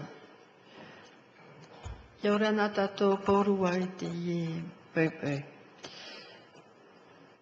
voudrais juste euh, revenir sur, euh, sur, deux points et remercier euh, Hirohiti Tefarere pour ses paroles. qui vont dans le sens de la construction du pays. Et je crois qu'aujourd'hui, c'est ça qui doit nous guider. Euh, je sais qu'on ne pourra pas forcément être d'accord sur, euh, on va dire, le positionnement politique par rapport à une doctrine, parce que certains sont indépendantistes, d'autres se réclament autonomistes, mais au bout du compte, moi, ce qui m'intéresse et ce, que, ce qui intéresse les jeunes, notre population, c'est comment on peut améliorer notre quotidien avec le statut dont on dispose aujourd'hui. Je crois qu'aujourd'hui, j'ai été agréablement surprise de, de l'intervention de notre président de l'Assemblée, je le remercie, et également de celle de notre président de la Polynésie française, qui se sont rejoints sur le fait que notre pays va mal et que finalement euh, la cause de ce mal vient principalement de nous, les personnalités politiques, qui à un moment donné avons pris telle ou telle décision. Et que finalement, cette population, elle, elle essaye de s'en sortir. Il y a des chefs d'entreprise qui, se bougent, il y a des salariés qui luttent pour avoir des droits, il y a des familles, des artisans qui travaillent, des pêcheurs. Et finalement, la cause de cette instabilité dans ce pays, c'est finalement nous tous présents dans cet hémicycle. Et ça, je crois qu'il faut qu'on le garde en mémoire et qu'on ramène un peu euh, nos propos à plus d'humilité et à de la responsabilité. Je crois qu'aujourd'hui, comme le disent certains, on vit à l'heure de la mondialisation. On importe énormément de choses. On sait que ça va mal, on sait que le prix du baril de, pétrole a augmenté, on sait que le riz a flambé au niveau international, que le sucre, le café, le chocolat, qui sont des denrées que nos populations consomment beaucoup, a flambé. Ça, c'est une réalité. Alors que faire? Se dire, ben, écoutez, ça va mal au niveau international, donc ça va mal chez nous, et on ne fait rien? Non, se dire peut-être qu'il est temps de donner les moyens à nos, agriculteurs de produire. C'est là où, quelque part, on a cette chance aujourd'hui de se dire que ça va mal au niveau mondial, eh bien, arrêtons d'importer, produisons local. C'est ce que nous dit de façon récurrente notre président de la, de la Polynésie française, mais aussi notre président de l'Assemblée de la Polynésie française. Moi, Monsieur le Président de la Polynésie, J'aurais juste, euh, on va dire, une, remarque ou une critique à émettre par rapport euh, à la politique que nous mettons en place aujourd'hui au niveau du gouvernement. On parle beaucoup de revalorisation du SMIG, mais qui est salarié en Polynésie? C'est bien pour les salariés, mais combien sont agriculteurs, sont copraculteurs, sont artisans? Et quand on parle, quand on parle de, revalorisation du SMIC, n'oublions pas aussi toutes ces personnes qui ne sont pas des salariés. Et c'est là notre challenge à nous tous, à nous tous, sans distinction politique, à mettre en commun les idées. Les idées qui vont permettre de rapporter plus de revenus à nos familles. Je voudrais également parler très rapidement de la protection sociale généralisée. C'est un grand chantier que notre ministre Armel Merceron, avec le président, sont en train de mettre en place. Et je remercie la démarche de Faterero de vouloir associer les élus à cette démarche. Et là aussi, on aura besoin de chacun, parce qu'on ne sait pas tout. On a sûrement besoin de l'apport de l'expérience de chacun. Et là, je vous demanderai à tous de mettre de côté nos clivages politiques et de nous mettre au service de notre population. Maruru. Merci. Monsieur Tanso, vous avez la parole. Bonjour, Monsieur le Président. Bonjour, Monsieur le Président de notre Assemblée, le Président du pays, Mesdames, Messieurs les ministres et Mesdames, Messieurs les représentants ainsi que tous les amis euh, journalistes. Oui, je voudrais quand même faire un petit commentaire sur le discours euh, un peu fort, si ce n'est pas très fort, et vous en conviendrez avec moi que ce genre de discours n'a pas sa place au sein de cet hémicycle. Et je tiens à le dire une fois de plus que je regrette vivement que ce discours a été une fois de plus prononcé dans une séance aussi solennelle. Oui, Monsieur le Président du pays, il est vrai que vous méritez tous nos applaudissements, car vous avez prononcé un discours d'une hauteur exemplaire, digne de notre institution et de notre confiance. Vous avez respecté les uns et les autres, et vous êtes le véritable métois que la population a élu, et vous continuez à garder votre zen attitude avec l'ensemble de vos ministres, que je félicite, et vous continuez tous à tenir le bon cap contre vents et marées, contre rumeurs et contre vérité. Bien évidemment, nous n'en sommes qu'en début de mandature. Il est parfaitement irréaliste d'exiger de nos ministres et de notre président qu'ils redressent en à peine six mois la barre d'un pays qui dérive depuis plus de quatre ans. Car l'instabilité chronique en Polynésie française date bien de 2004. De motion en motion de notre classe politique, on a oublié les fondamentaux, servir la population. Il est temps aujourd'hui de tourner la page. Nos engagements électoraux furent de mettre en place une nouvelle gouvernance en Polynésie française. Tout d'abord, en renouvelant la classe politique et en changeant surtout les mentalités. Nous nous y attelons. La preuve en est les nombreux jeunes qui constituent notre groupe. Mais il faut aller au-delà, intégrer dans nos réflexions politiques la nécessité du long terme. Il n'est plus temps aujourd'hui de se satisfaire du lendemain. Nous devons nous organiser, nous devons planifier, intégrer notre développement dans un schéma de développement durable. Oui, nous sommes optimistes. Et je suis en phase avec les propos de Madame la représentante Béatrice Vernaudon, qui fait partie de la nouvelle génération de maires. Et c'est dans ce sens que nous avons souvent mené nos débats au sein de notre hémicycle. Enfin, il faut tout simplement se rappeler dans la logique des choses. Nous sommes élus par le peuple et pour le peuple, ne serait-ce que pour reprendre les mots du grand Abraham Lincoln. Nous devons, dans nos travaux quotidiens, répondre aux besoins d'une population qui ne souffre plus d'attendre notre bon vouloir. Notre président de pays l'a si bien dit également dans son discours, grâce aux mesures correctives, nous sommes en droit d'attendre une relance de notre économie. Le contrat de projet s'est inscrit dans cette volonté de notre président de répondre, dans le cadre d'un dialogue constructif avec l'État, aux besoins immédiats de notre population. Il en est allé de même pour le collectif. Après les urgences, nous encourageons notre président à lancer les projets de relance durables. Pour finir, mes chers collègues, je tiens simplement à vous inviter à une petite réflexion. Quelle image voulons-nous offrir à nos enfants? Quel avenir Faisons de cette réflexion une devise qui ouvrira chacune de nos réunions. Nous sommes à un moment important de notre histoire. Il est de notre responsabilité d'élus, de Polynésiens de cœur et d'esprit, de ne pas rater ce rendez-vous. Je vous remercie de votre attention. Merci. Je demande au secrétaire général de donner connaissance du relevé de la correspondance. Madame le secrétaire générale. Monsieur le Président, tous les représentants dans leur dossier de séance, le relevé de la correspondance reçue par l'Assemblée, donc du 23 juillet 2008 et arrêté le 15 septembre 2008. Merci. Monsieur le Président, vous vouliez dire quelque chose? Oui.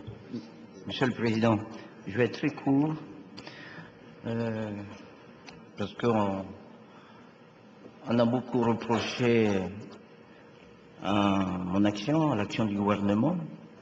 Je voudrais tout d'abord vous remercier également pour vos discours, remercier tous ceux qui ont pris la parole pour intervenir, euh, même si on a largement dépassé le temps dévolu à ce débat. Je voudrais simplement dire euh, que j'ai beaucoup apprécié l'historique que notre euh, représentant de l'Assemblée Béatrice nous a fait euh, devant nous, savoir l'évolution du Taoui. Hein, il y a eu Taoui, Taoui roi et, Taoui noir, et il propose un monde. Et on m'a accusé aussi d'être l'auteur principal de l'instabilité des institutions dans notre pays. Mais euh, la question que je me pose, à savoir qui a effectivement ren- renversé le premier Taoui et qui a renversé le deuxième Taoui en 2006. J'en faisais partie, certes, J'en étais un simple jeton de cette action. En 2007, qui a renversé mon gouvernement? C'est pas vous, Monsieur le Président de l'Assemblée de Polynésie. Sûr, parce que vous ne pouvez pas renverser mon gouvernement. Et il y a eu un Tawi 3, le fameux Tawi 2008, avec Tota Tawaya. Et la question que je me pose, qui a empêché cette majorité légitime de gouverner notre pays? La réponse, c'est une seule et même personne. Vous connaissez son nom, je ne le dirai pas là, c'est facile à comprendre, et qui m'accuse aujourd'hui de corrupteur. Jusqu'à preuve du contraire, je ne suis pas encore traduit devant un tribunal pour euh, avoir euh, utilisé des emplois fictifs. Et j'avais donc raison, Monsieur le Président, lorsque je vous proposais de demander à l'Assemblée de reporter cette séance pour éviter qu'on m'accuse d'utiliser la tribune pour faire une campagne pour les prochaines élections de dimanche. Et pourtant, dans mon discours, je n'ai pas prononcé une seule fois le mot des élections sénatoriales. Et on m'accuse aujourd'hui d'avoir utilisé cette tribune. Eh bien, je regrette, Monsieur le Président, on aurait dû effectivement reporter la séance à mardi, mais les choses sont ainsi. Quant aux propos de notre représentant Edouard Fritz, je dirais tout simplement la chose suivante. Il a voulu faire euh, un parallèle entre ce qui s'est passé en 87, 88, 89 et 90. Vous connaissez qui était président de la Polynésie française de cette époque. En tout cas, moi, je n'ai pas trahi mon parti maire, pas du tout. C'est le parti maire qui m'a mis dehors et c'est le peuple qui m'a ramené ici. C'est toute la différence. Et pour le reste, le peuple, en tout cas, n'est pas du tout oublié dans notre politique, dans nos préoccupations de la majorité du gouvernement. Mais par contre, euh, j'ai l'impression que le peuple a oublié un certain élu euh, du côté de la commune de Pirer lors des dernières élections. Et euh, je ferais mieux, mieux de se regarder. En tout cas, tout ce que je peux dire, Président, dans toutes ces déclarations qui ont duré pratiquement une heure, j'ai l'impression qu'il y a beaucoup d'excès, il y a beaucoup de haine, et tout ce qui est excessif et dérisoire, j'en resterai à cette conclusion.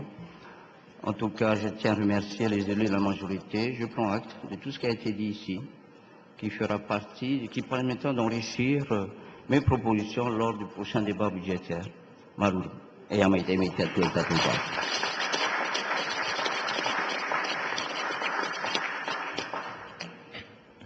Excusez-moi de dire quelques mots.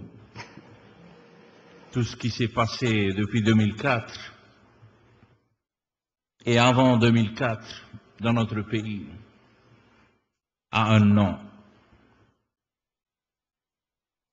C'est le colonialisme dans toute sa splendeur. Et on a l'air de se complaire dans ce système aujourd'hui ou demain. Nous sommes responsables de l'histoire de notre pays. Notre population notre jeunesse nous jugera. Maruru, Madame le secrétaire général, vous avez la parole.